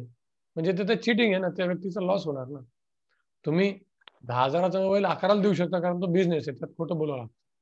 कुठल्याच कधी बिझनेसमॅन सत्य सांगू शकत नाही. पण तो ऑब्जेक्टच चुकीचा देणं म्हणजे त्याचा विश्वासघात बरोबर आहे? प्रत्येकाला आपला जी नोकरी आहे बिझनेस करावा लागतो. कोणी शेती करू शकतं कोणी व्यवसाय कोणी शिक्षक आहे कोणी गायक असतो. जे काही आपल्याला समजतं की हे चुकीचं काम करतोय हे आपल्याला समजतं. आणि नंतर त्यामध्ये जे आपल्याला इन्कम भेटलेले आहे त्यामध्ये आपल्या कुटुंबाचा खर्च करणे. आणि दा बेस्ट की आपण विष्णू राम श्रीकृष्ण म्हणजे यांच्या फे- उत्सवामध्ये किंवा यांच्या प्रचारामध्ये भगवद्गीतेचा प्रचार आहे. किंवा आपल्या घरी आपण फेस्टिवल साजरे करणे. रामनवमी आहे दशहरा आहे नरसिंह जयंती आहे जन्माष्टमी आहे कितीतरी उत्सव आहे बरोबर आहे? आणि भगवंताला भोग दाखवणे लोकांना खाऊ घालणे. आणि नित्यवान एक रुपया आहे पाच रुपये भगवंताच्या दानपेटीमध्ये टाकणे विष्णू भगवंताच्या. बरोबर आहे? रामाच्या. की ज्या ठिकाणी तुमचं दान हे योग्य प्रकारे खर्च केलं जाईल. तर सतरावा अध्याय आपण बघणार आहे. त्यामध्ये तीन प्रकारचं दान आहे. तमोगुणी रजोगुणी सत्वगुणी हे सांगितलेले. तमोगुणी म्हणजे काय? दारूची पार्टी पूर्ण गावाला दारूची पार्टी आता ते दारू पिणाऱ्याचं पण नुकसान आणि जो पैसे खर्च करतो दोघांनी नरकात जाणं. कारण ते हे धर्माच्या विरुद्ध आहे. कशाच्या विरुद्ध आहे? धर्माच्या विरुद्ध आहे. बरोबर? नॉनव्हेजची पार्टी फ्रीमध्ये सगळ्या गावाला. आणि हजारो प्राण्यांना कापात होतो. म्हणजे प्राण्यांची हत्या ज्यांनी केली त्याला पाप. करतो त्याला पाप आणि खाणार पाप. है ना? सगळ्यांना फ्री गॅमलिंग म्हणजे हे काय कामाचं नाही. तमोगुणी दान. आहे रजोगुणी म्हणजे काय? माझं नाव आलं पाहिजे तिथं आहे ना? हे मी दिलेलं आहे हे मी. बरोबर ठीक आहे ऍटलिस्ट ते बरं आहे. आणि सर्वश्रेष्ठ म्हणजे काय? की बस आम्हाला काय अपेक्षा नाही. भगवंताची भक्ती आहे. सत्कर्म हो जा तुम्ही करा. आम्हाला आम्ही करू शकतो तुम्ही करा. है ना? आणि हे पर्सेंटेज वाईज प्रत्येकाच्या ऐपतीपणे आपण करू शकतो. कारण तसं बघितलं तर आपल्याला किती जरी भेटलं तर आपल्याला वाटतं अजून पाहिजे. पाहिजेला काही अंतच नाही आणा माझे वडील म्हणतात की गृहस्थामध्ये एकच आमच्या मंडळीचं एकच वाक्य असतं म्हणे आणा हे आणा ते आणा ते आणा कधी संपत नाही म्हणे. माझं आयुष्य गेलं पण फक्त आणाच आहे. माझे वडील एकदम ओपनली माझ्यासोबत डिस्कस करतात. तर त्याला लिमिट नाही. आपल्याला कुठंतरी भगवंताला अर्पण करणं महत्वाचं आहे. नाही तर मग काय होतं? नुकसान होतं खूप. खूप नुकसान होतं. म्हणजे मी दर महिन्याला भगवंताला दहा दहा ते पंधरा हजार डोनेशन देत होतो. तर फिफ्टी पर्सेंट मी देत होतो फिफ्टीन पर्सेंट मग मला काही फॉरेनला गेल्यानंतर मग काय झालं मला काही एक महिना मला गॅप झाला काही वेळ नाही भेटला. तर ताबडतोब माझा पॉकेट हरवलं त्यामध्ये फिफ्टी थाउजंड रुपये होते. सिंगापूर डॉलर होते त्यामध्ये. म्हणलं अरे बापरे चूक झाली माझ्या हाताने मी ताबडतोब पैसे ट्रान्सफर केले आणि काही पंधरा दिवसातच माझे पैसे वापस भेटले. म्हणजे मला लक्षात आलं की मला असं पनिशमेंट भगवंताने दिली तू कसं काय असं करतोस? कारण भगवंत पनिशमेंट कुणाला देतात? जे त्यांचे भक्त त्यांना देतात. म्हणजे पनिशमेंट अशी जोराची म्हणजे चोरी गेले ते. चोरी केले होते. पाकिट टॅक्सी मध्ये हरवलं होतं. पण ते पुन्हा भेटलं मग? पंधरा दिवसांनी वापस भेटलं. असं किती लोकांसोबत होतं. डॉक्टरकडे पैसे जातील अशी बिमारी होईल ऍक्सिडेंट होईल चोरी होईल कोणी तुम्हाला फसवतं. म्हणजे असे तुम्ही जर भगवंताला दिले तर असे तर खड्ड्यातच चाललेत ना पैसे हवेत चालले त्याच्यापेक्षा भगवंताला एक रुपया जरी दिला तर भगवंत मरेपर्यंत काय? अनेक जन्म ते तुम्हाला विसरणार. किती? अनेक जन्म. जरी आपल्याला प्राण्यांचा जन्म झाला तरी पण ते विसरणार नाही. कारण भगवंताच्या बँकेमध्ये हे एक रुपया टाकला तर तो कधीच संपणार नाही. कारण भगवंताची बँक अमर. भगवंत अमर आणि त्यांचं खातं पण अमर. बाकीच्या गोष्टी संपणार नाही. ठीक आहे? क्लिअर पण ते मार्ग कुठं लावायचे? जसं तुम्ही पेंटिंग मंदिर म्हणाले मंदिर बांधावे शा- शाळा. मी तुम्हाला क्लिअर सांगितलं की विष्णूचे कार्यासाठी तुम्ही देऊ शकता. समजा तुमचे तर राम मंदिर आहे. त्यांचं काही फेस्टिवल आहे. आता तिथं भगवंताच्या भोग लागण्यासाठी मंदिर मेंटेन करण्यासाठी पैसा लागतो. मग भगवंताला भोग लावायचा तुम्ही फिक्स देऊ शकता. हे माझ्यातर्फे दर महिन्याला शंभर रुपये भगवंताला भोग. भगवंताला माझ्यातर्फे हार. भगवंताला माझ्यातर्फे फळं. ठीक आहे मी मंदिरामध्ये जे गुरुकुल चालू करतो त्या विद्यार्थ्यांचं शिक्षण करणार. त्यांना जे भगवद्गीता भागवतम ते माझ्यातर्फे देणार. ठीक आहे मी दहा लोकांना भगवद्गीता वाटप करणार. किंवा मी आमच्या कॉलनीचे मंदिर बंद त्यासाठी मदत करणार. जागा देणार किंवा मी मंदिर प्रचारासाठी मदत करणार ते पण डोनेशन मंदिर प्रचारासाठी मदत करणे लोकांना मंदिरात घेऊन येणे ते पण डोनेशनच असे हजारो मार्ग आहेत. पण त्यासाठी गायडन्स पाहिजे आपल्याला. नाही तर मग आपण चुकीचं दान देऊ शकतो. दान देण्यासाठी घेण्यासाठी पण योग्यता पाहिजे. कुठलाच व्यक्ती दान घेऊ शकत नाही. कारण ते दान घेणाऱ्याचं नुकसान होतं. आणि दान देणाऱ्याचं पण नुकसान होतं. त्याच्यामुळे सतराव्या आद्यामध्ये क्लिअर दिले. दान कोण घेऊ शकतं आणि का? कसल्या प्रकारे दान द्यावं बरोबर आहे? नाही तर कितीतरी लोक अशा संस्था उघडून बसले की तुमचे पैसे खायला बसतील ते दाखवतील काहीतरी पण तुमचे पैसे वाया जातील. त्याच्यामुळे केअरफुल राहणं महत्वाचं तुम्हाला अधिकार आहे की माझं दान कुठं खर्च होतं ते तुम्हाला विचारण्याचा अधिकार आहे. एकदा तुमचा भरोसा पडला तर मग शंभर वेळा विचारू. ठीक आहे?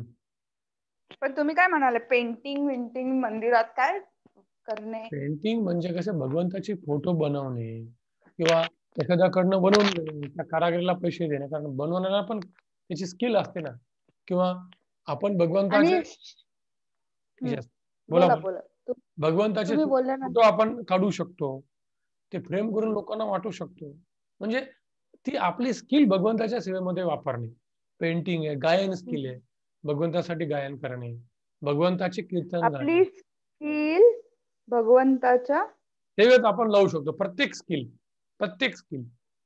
जेवढे जे गुण आहेत ना चौसष्ट कला त्या फक्त भगवंतासाठीच आहेत. चौसष्ट कला एक नाही चौसष्ट कला.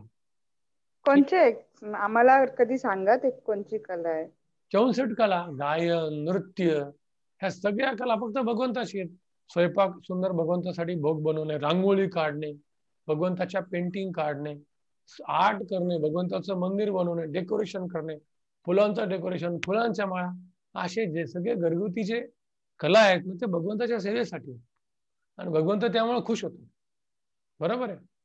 जसं आमच्या मंदिरामध्ये काय काय सेवा आहे? भगवंताला दररोज गार्डन बनवण्यासाठी कितीतरी लेडीजची टीम आहे. ते एकदम जबरदस्त गार्डन म्हणतात. काय म्हणतात आम्ही भगवंतासाठी बगीचा निर्माण करू. भगवंतासाठी विविध फुलं निर्माण करू. कोणी म्हणतात आपण भगवंतासाठी कपडे विणू. भगवंतासाठी ज्वेलरी बनवू बरोबर आहे? अशी कितीतरी कला आपण भगवंताच्या सेवेत लावू शकतो. आणि तीच ऍक्च्युली भक्ती. भक्तिमय सेवा. है ना? भगवंत असं म्हणत नाही की तुम्ही माझ्यासाठी प्रवचनच करा. ठीक आहे मला प्रवचन करता नाही मला स्वयंपाक करतो तर करा भगवंतासाठी भाऊ मला गार्लंड बनवतो तर गार्लंड बनवा. भगवंत भेदभाव करत नाही फक्त तुमची भक्ती भक्त. ओके पण असं पण होतं ना घरात आपण राहतो आपण दिवसभर देवाचं केलं तर सगळे सगळे दिवसभर देवाचं केलं आम्हाला पण जेवायला पण. आम्हाला पण दे दिवसभर देवाचं. देवाचं आपल्याला ते कुठेतरी देवाचं असं करायचं म्हणजे काय? आता समजा आपण म्हणजे माझे कधी कधी कधी कधी मी असं ऐकलं होतं. काय पूजा करून काय नाही भेटते घरचे काम करा जरा. काम करणं त्याला आपण घरचे काम पण भगवंतासाठीच करू कोण नाही म्हणलं. पण मग टीव्ही आपण भगवंतासाठी बघतो का? किती लोक घरचं काम करून त्याच्याकडे वेळ असतो ते भक्ती करतात का? लोक म्हणतात की बाबा भक्ती करा भक्ती भक्ती काय करायचे? काम करा पण तुम्ही कामही करत नाही आणि भक्ती करत नाही. असा कुठला व्यक्ती सांगा मला त्याला वेळ नाही. शक्यच नाही ते. है ना? प्रत्येक गोष्टीसाठी आपला असिस्टन्स असतो पण कुठे आपल्याला भक्ती करायसाठी वेळ नाही काय? वेळ काढत नाही आपण. वेळ काढत नाही. ठीक आहे विशाल प्रभूंचा प्रश्न आहे. हा विचार हरे कृष्ण प्रभू. हरे कृष्ण प्रभू म्हणजे भगवंताची जसं ब्रह्म विष्णू महेश भगवंताची उत्पत्ती कशी झालेली शास्त्रामध्ये असं काही उल्लेख आहे का कुठे? आहे ना भागवताच्या प्रथम द्वितीय स्कंदामध्ये सगळं दिलं की या सृष्टीची उत्पत्ती कशी झाली? त्याला सृजन प्रक्रिया म्हणतात. सर्ग विसर्ग. खूप डिटेलमध्ये दिलेले आहे. दुसऱ्या स्कंदामध्ये एवढं डिटेलमध्ये दिलं की डोकं आपलं हलून जाईल. जे शास्त्रज्ञांना पण माहीत नाहीये. कसे पंचमहाभूत सोळा एलिमेंट नंतर जड प्रकृती नंतर त्यामध्ये कसा आत्मा गेला जीवांची उत्पत्ती कशी झाली हे सगळं दुसऱ्या स्कंदामध्ये डिटेलमध्ये दिलेलं खूप डिटेलमध्ये आणि ब्रह्म विष्णू महेश यांची पण दिलेली का? बघा आता सिंपल सांगतो. भग ब्रह्म महाविष्णू हे समुद्रामध्ये झोपलेले आहेत. आणि त्यांच्या शरीरातून हजारो ब्रह्मांडाची निर्मिती होती. बघितलं असं फोटो त्या हो, हो. ब्रह्मांडामध्ये पुन्हा विष्णूचा दुसरा अवतार जातो त्याला म्हणतात गर्भोदक्षय विष्णू. पहिले जे विष्णू आहेत ते महाविष्णू कारणोदक्षय विष्णू. नंतर गर्भोदक्षय विष्णू. मग त्या गर्भोदक्षय विष्णूच्या नाभीतून एक कमळ येतं. त्या कमळाच्या वर ब्रह्मदेवाची निर्मिती होते. आणि त्या कमळाच्या हो. देठामध्ये सगळे ग्रह आहेत. बरोबर आहे? हे झालं एक ब्रह्मांड. हो. आणि मग ब्रह्मदेवाच्या नासिकेतून शिवजीची उत्पन्न निर्मिती होते. मग ब्रह्मदेव सगळ्या देवतेची निर्मिती करतात. मग या सृष्टीची निर्मिती करतात. मग प्रथम मानवाची निर्मिती कोण? म्हणू त्याची निर्मिती करतात. मग प्रजापती. म्हणजे ते वेगवेगळ्या जीवांना उत्पत्ती देतात. सगळ्या जीवांना. सगळे जे जीव हे. निष्क्रिय अवस्थेमध्ये आहेत. त्यांना भगवंत पुन्हा चान्स देतात की भक्ती करण्यासाठी. ते पुन्हा जन्म घेतात त्या जगामध्ये आणि जेव्हा पूर्ण सृष्टीची संहार होतो तेव्हा प्रत्येक गोष्ट वापस महाविष्णूच्या पोटामध्ये समा समाविष्ट होते. सगळे जीव ग्रह तारे सगळे सगळे ए टू झेड ते फक्त किती? त्यांचं जीवन किती? श्वासोच्छ्वास. महाविष्णूचा एक श्वास म्हणजे संपलं पूर्ण विश्व संपलं. एवढंच आपलं आयुष्य. मग महाविष्णू कोण? आणि हे महाविष्णू कृष्णाचा एक अंशाचा अंश आहे. कृष्ण इतक्या वर आहेत. बघा. ठीक आहे? ठीक आहे. हरे कृष्ण. हरे कृष्ण. अजून काय प्रश्न?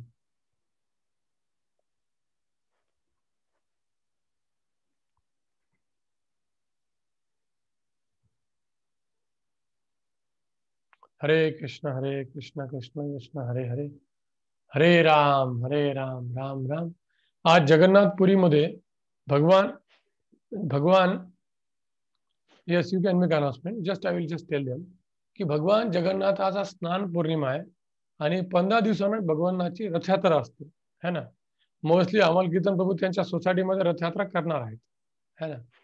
तर हे जगन्नाथ हे फार भगवंताचं सुंदर स्वरूप आहे. आणि आज तिथं भगवंताचा वाढदिवस असतो. त्यांना स्नान केलं जातं पूर्ण. आणि त्याचं दर्शन करण्यासाठी वेगवेगळ्या देवता येतात. तेहतीस करोड देवता. तुम्ही जर बघितलं लाईव्ह जगन्नाथमध्ये तुम्हाला जगन्नाथचं सुंदर दर्शन गजवेश म्हणजे भगवंतांना गजाचा वेश हत्तीचा वेश दाखवल्याचं दर्शन दिसतं. तर आज फार मोठा फेस्टिवल असतो. फार मोठा. आपल्या इस्कॉन मंदिरामध्ये पण फार मोठा फेस्टिवल झाला. जगन्नाथचा अभिषेक वगैरे कीर्तन सगळ्यांना प्रसाद. ठीक आहे? आता अमल कीर्तन सर कुठ काही अनाउन्समेंट करण्याची त्यांची इच्छा आहे. प्लीज कम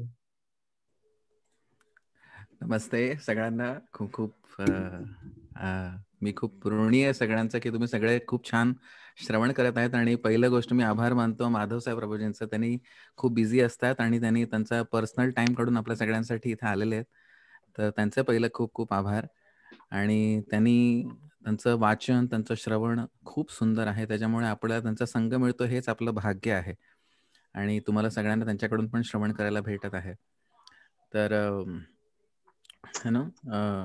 अशा साधू संघामध्ये आपलं श्रवण होतं तर खूप चांगली गोष्ट आहे. तर आता अजून एक जस्ट दोन मला गोष्टी सांगायच्या होत्या सगळ्यांना की पहिल्या गोष्ट की सकाळी आपण सगळे जपला भेटत आहोत है की नाही? तर तो खूप इम्पॉर्टंट सेशन आहे साडेसहा ते सात ओके तर तुम्ही सगळ्यांनी प्रयत्न करा की त्या सेशनला तुम्ही येऊ या आणि तुम्ही सगळ्या परिवारांसोबत पण आला तरी चालेल. आणि तुम्ही आधी स्वतःहून आला तर तुम्हाला खरंच खूप बेनिफिट मिळणार आहे. ते थोडा वेळ जेव्हा सगळ्यांच्या भक्तांच्या समूहामध्ये येऊन जेव्हा आपण जप करतो भगवंत तुम्हाला आठव्या चॅप्टरमध्ये आपण बघितलं ना अंतकालच्या मामेव स्मरणमुक्वा कलेवरम है ना? तर त्याच्यामध्ये सांगतात की मृत्यूची जरी तयारी करायची असेल ती तयारी प्रॅक्टिस केली पाहिजे. It's not that at the end of the day only we can just chant Hare Krishna and die but we have to practice it है ना? तर चॅन्टिंग हे आपल्याला खूप खूप फायदा करतं बरेच गोष्टींमध्ये. ते प्रभूजी पण तुम्हाला सांगतीलच पुढच्या मध्ये. तर आपल्याला ह्याचं एक काय म्हणतो ना एक्सपिरियन्स अनुभूती आपल्याला येणार जेव्हा आपण त्याच्यामध्ये ऍक्च्युली ते एक्सपिरियन्स करू चॅन्टिंग करून. तर जेवढा पॉसिबल होईल तेवढा सकाळी तुम्ही प्रयत्न करायला तेव्हा आपले चार माळा जप होईल सगळ्यांच्या समवेत. आणि दुसरी अनाउन्समेंट अशी की ज्यांना कोणाला भगवद्गीता मराठी इंग्लिश हिंदी कुठलीही भाषाची आणि आपल्या स्वतः स्वतःची एक बीड बॅग आणि माळा हवी असेल तर आम्हाला कृपया सांगा मेसेज करून आम्ही तुम्हाला तुमच्या घरपोच पाठवू. ओके? कारण की आता आम्ही फक्त नाव नोंदवतोय. एकदा सगळ्यांचे नावं आले की आम्ही सगळ्यांना एकत्र पाठवू. है ना? ही भगवद्गीता मराठीमध्ये जशी आहे तशी तुम्हाला तिथे समोर पण ग्रंथ दिसतील प्रभूजींच्या इथे किती छान डिस्प्ले केलेले आहेत. आणि प्रभूजी प्रभूजी स्वतः किती विविध शाळांमध्ये जाऊन पण मुलांना वितरित केलेलं आहे.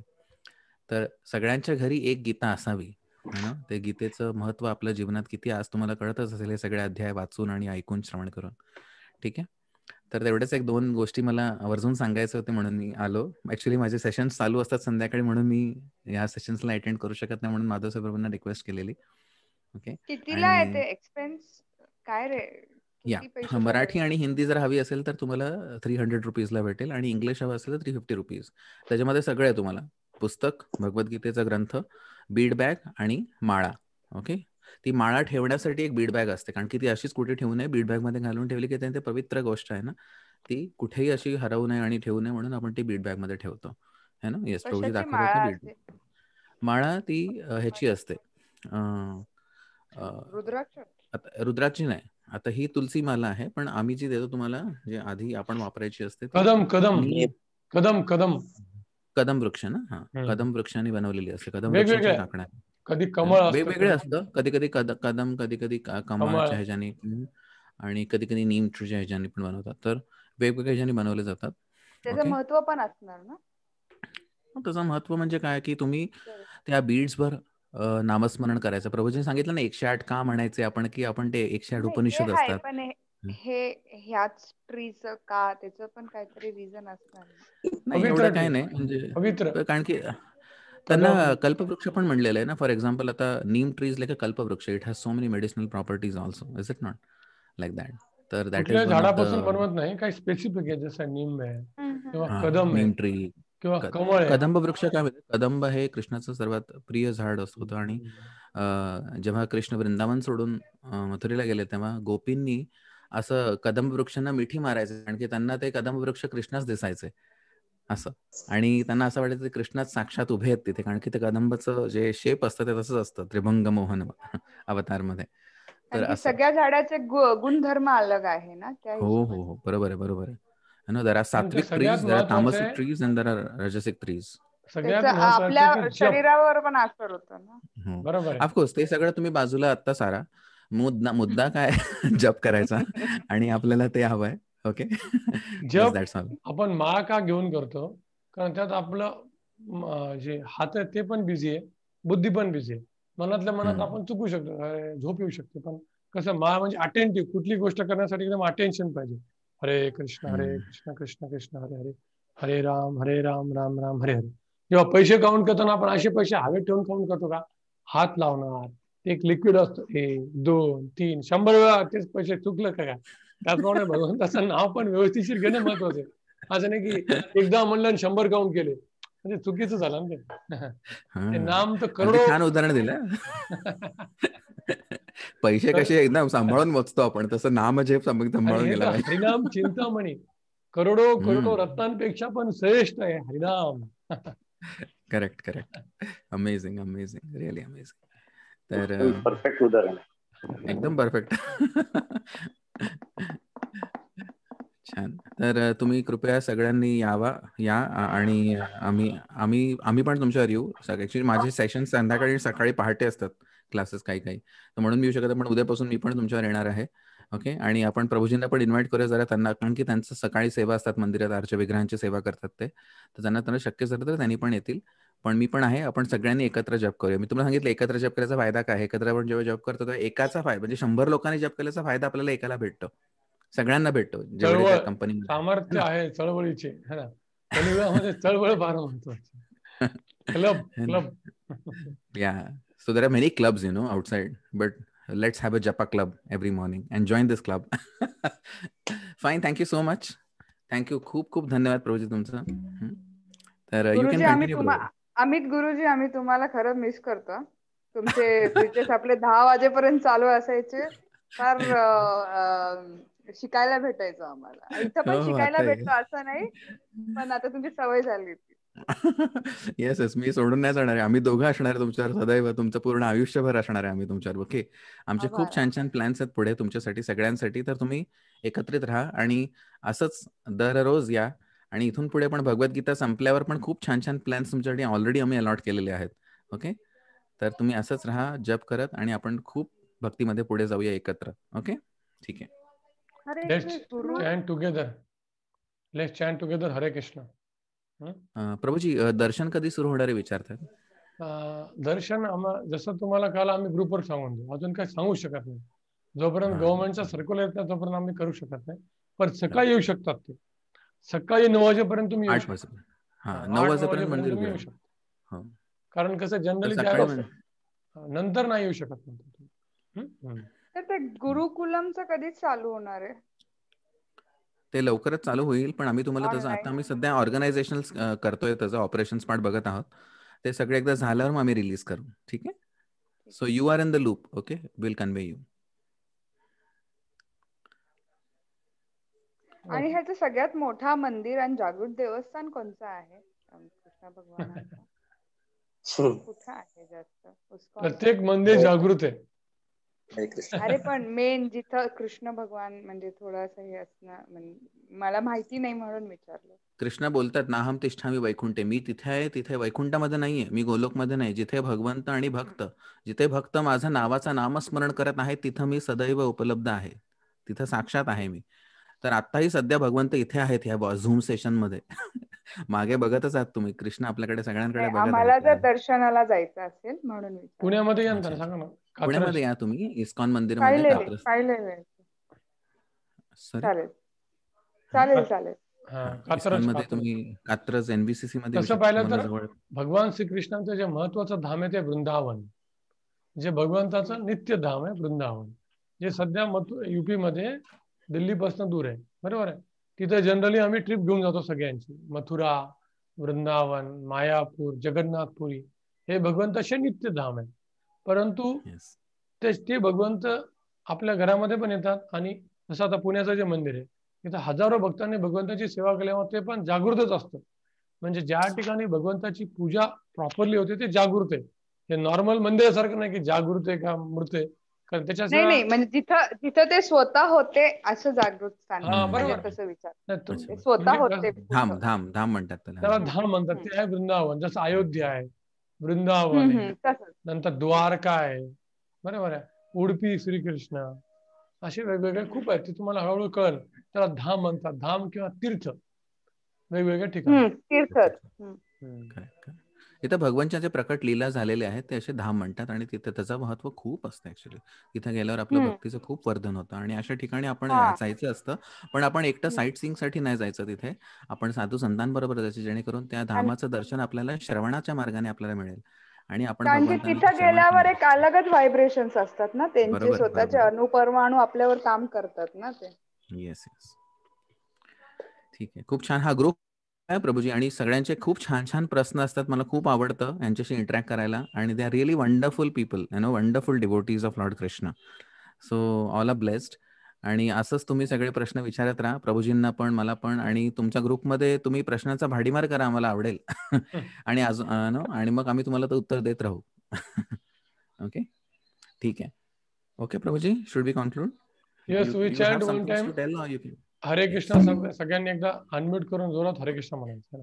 सगळ्यांनी हरे Krishna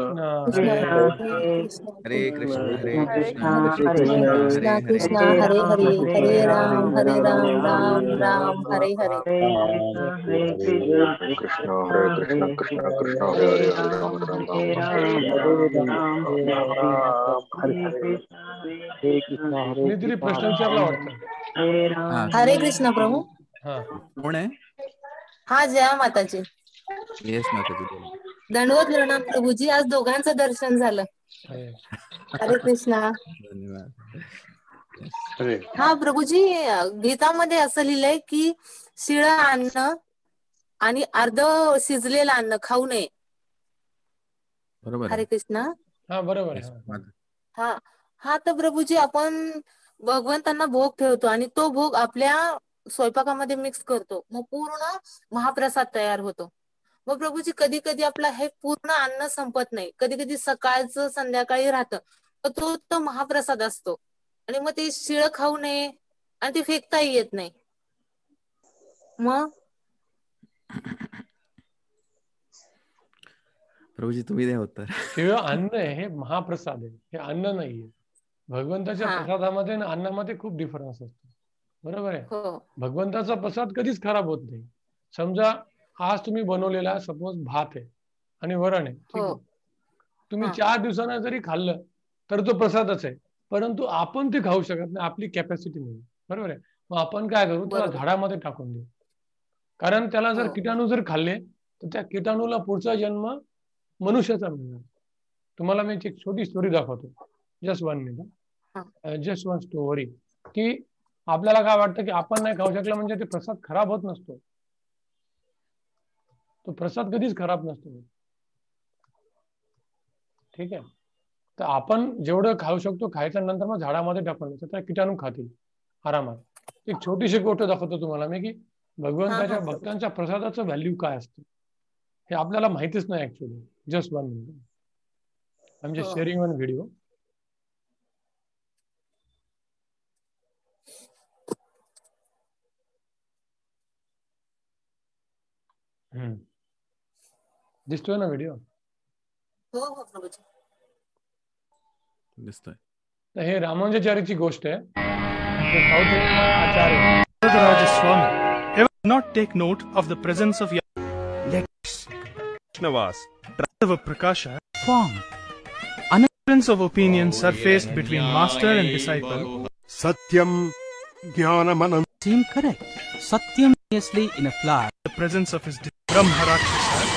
harassed by a began to simmer with anger and intolerance.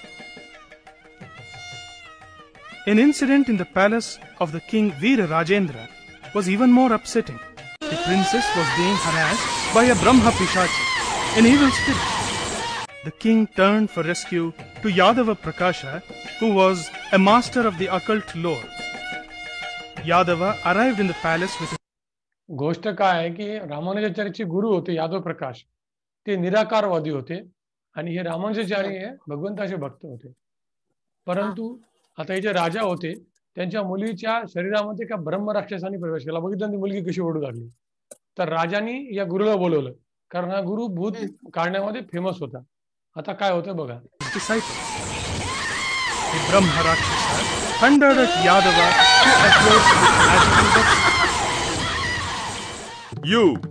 The The verse you are reciting is not new to me. You cannot get rid of me with your verses. I know the story of your earlier birth. When you do not know the story of your own earlier birth, what can you know of my birth? Poor fellow.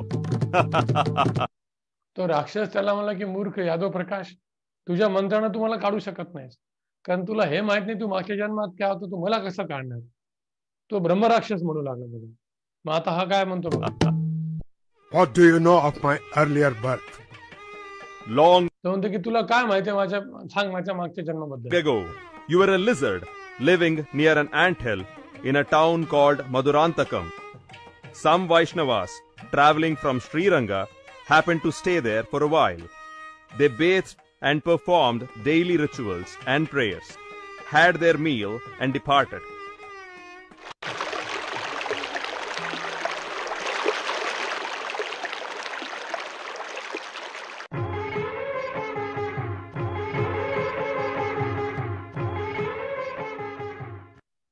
They had thrown the leftovers there and also spilt some sacred water. You consumed the leftovers and drank the holy water, and so you attained this noble birth. हा जो व्यक्ती होता तो मागच्या जन्मात मदुराई मधुरांतक म्हणजे मदुराईमध्ये एक सरड्या होता आणि काही वैष्णव त्या एरियामध्ये आले त्यांनी त्यांचे नित्य कर्म केले भगवंताची भक्ती केली भगवंताला भोग दाखवला भगवंताचा प्रसाद खाल्ला बस आणि चरणामृत तिथे त्यांनी त्यांना भगवंताचा घेतला. आणि ते सगळं त्यांनी आता प्लेट टाकून दिल्या आणि ते निघून गेले. परंतु या सरड्यानं तो प्रसाद खाल्ला. ते पाणी पिलं. तर त्याला ब्रह्मकुळामध्ये एका गुरुचा जन्म भेटला. ही भगवंताच्या प्रसादाची किमय आहे. खाली टाकलेल्या. म्हणजे भगवंताचा प्रसाद कधीच नष्ट होत नसतो. आणि त्यामुळे वैष्णवांनी नुसता प्रसाद जरी खाल्ला तर कितीतरी किड्यांना पुढचा जन्म मनुष्याचा प्राप्त होतो. कितीतरी झाडांना. झाडाच्या बाजूला फक्त आपण हरे कृष्ण हरे कृष्ण कृष्ण कृष्ण हरे हरे हरे राम हरे राम राम राम हरे हरे. तर आपल्याला माहीत नाही त्याला पुढचं जन्म झाडाचा काय मिळणार आहे. कारण आपल्याला एवढं कळत नाही. ते फक्त भगवंताला माहीत असतं. आणि हा जो राक्षस असतो तो कोण असतो? तो राक्षस मागच्या जन्मात एक मोठा ब्राह्मण असतो. पण वेदांचे मंत्र मनामध्ये चूक केल्यामुळे त्याला ब्रह्म राक्षसा जन्म मिळतो. तेव्हा वैदिक मंत्र कधी अवघड आहे? तेव्हा सगळ्यात सुभा मंत्र कुठला आहे? हरे कृष्ण हरे कृष्ण कृष्ण कृष्ण हरे हरे हरे राम हरे राम राम राम हरे हरे यात हरा जरी झाला तरी राक्षस होणार नाही कारण भगवंत फार दयाळू आहे तर आता तो म्हणजे राक्षस म्हणतो की पूर्ण दाखवतो दाखवतो Let that be. पुनर्जन्म What हे about your असतो. earlier birth? स्टोरी पूर्ण करू I was once a noble Brahmin. There were lapses while I was performing sacrifices, and so I became a Brahma Rakshasa. You boasted that the sacred verses I uttered could not subdue you. Then who can overcome you? Look at that तो म्हणतो की मला या शरीरातून कोण काढू शकतो तुला सांग तो माझ्या म्हणता निघणार नाही तर मग तो म्हणतो बघ तुझा तो शिष्य आहे ना जो वैष्णव रामानुजाचार्य आहे त्याने जर या मुलीच्या डोक्यावर पाय ठेवला तरच मी जाणार नाही तर मला मुक्ती मिळणार नाही great radiant Brahmin standing over there, Ramanuja, who is your disciple. He is not ordinary. A divine element is enshrined in him. If he places his lotus feet on my head and commands me to depart, I shall be released from the curse. The princess will then be freed from the spirit that troubles her. What will signal your departure?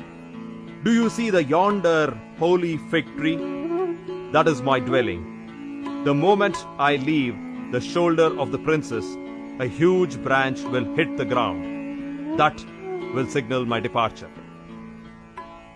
At the touch of Ramanuja's feet, the Brahma Rakshasa was liberated from the curse.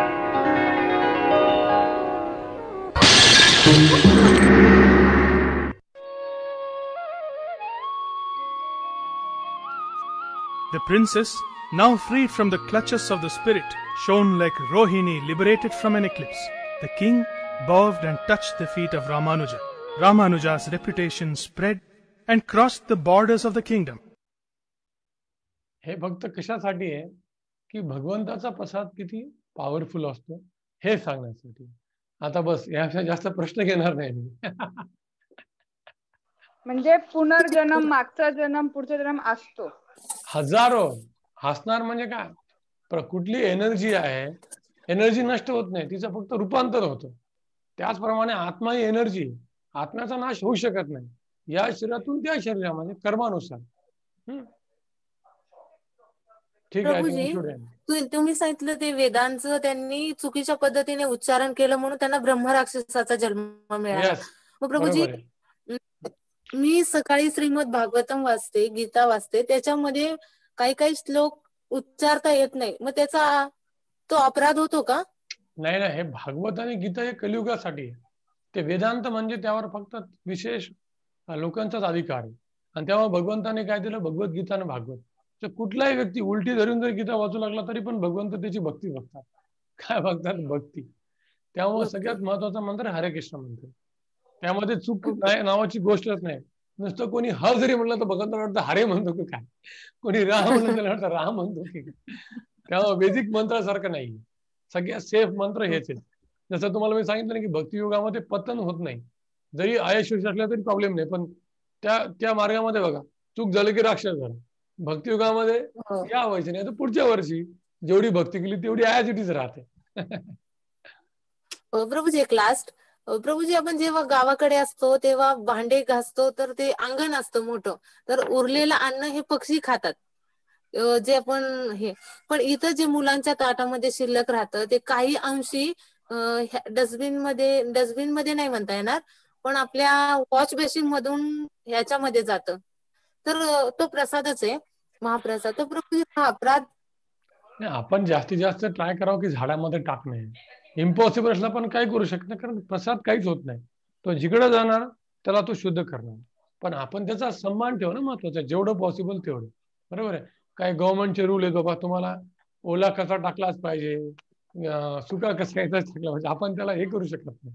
बरोबर आहे? झाड असलं तर best. आता फ्लॅटमध्ये झाड सापडणार नाही तुम्हाला. गावामध्ये हो जनरली ना. झाड असतं. जे पॉसिबल आहे हो, ते हो. करूया. पण सन्मान सन्मानासहित आणि त्याचा आदर असेल पण जेवढं पॉसिबल आहे तेवढं करू शकतो. बरोबर? ओके प्रभूजी. थँक्यू एवढं सुंदर उत्तर. खूप छान प्रभूजी. प्रसादाचा महिमा आहे माझं उत्तर नाही. एवढे छान स्टोरी दाखवून तुम्ही समजावलं ना खूप सुंदर. दुसरा प्रश्न. प्रभूजी. झाडाखाली जर आपण जपा केला तर मग त्या झाडाला बेनिफिट होतो का? झाड पण लिबरेट होऊ शकतो. झाड काय? म्हणजे आजूबाजूच्या हवेमध्ये जेवढे प्राणी ते तुम्हाला दिसणार पण नाहीये. या ब्रह्मांडामध्ये एवढे जीव जंतू तुम्हाला दिसणार पण नाही ना. या हवेमध्ये हजारो जंतू पसरलेले आहेत. हा? नंतर तुम्ही हात हलवा तर हातामध्ये कितीतरी जंतू पसरले हे सगळ्यांचा उद्धार आला ते आपल्याला कळत नाहीये. तेव्हा भगवंताचं नामस्मरण सर्वश्रेष्ठ आहे. ते तुम्हाला कळणार नाही. त्याचा महिमा जेव्हा आपण शास्त्रामध्ये वाचतो तेव्हा कळतं असं आहे का? त्यामुळं देवता लोक जो व्यक्ती फक्त डिसाईड करतो की मी हरे कृष्ण मंत्र म्हणणार आहे त्याची आरती करण्यासाठी प्लेट बनवतात कारण एवढं हरे कृष्ण मंत्र श्रेष्ठ आहे. ते कसं कळतं आपल्याला? जेव्हा आपण शास्त्रातले असे एक्झाम्पल बघतो तेव्हा कळतं. तोपर्यंत कळत नाही.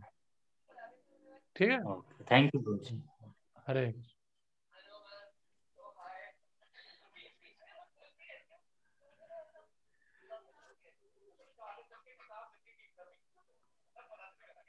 I think we will stop now, Prabhu. Huh? Huh. Yes, yes. You continue if you want to continue. No, no, no. We can conclude. That's all because devotees have to take a rest also. Fine. Thank you so much.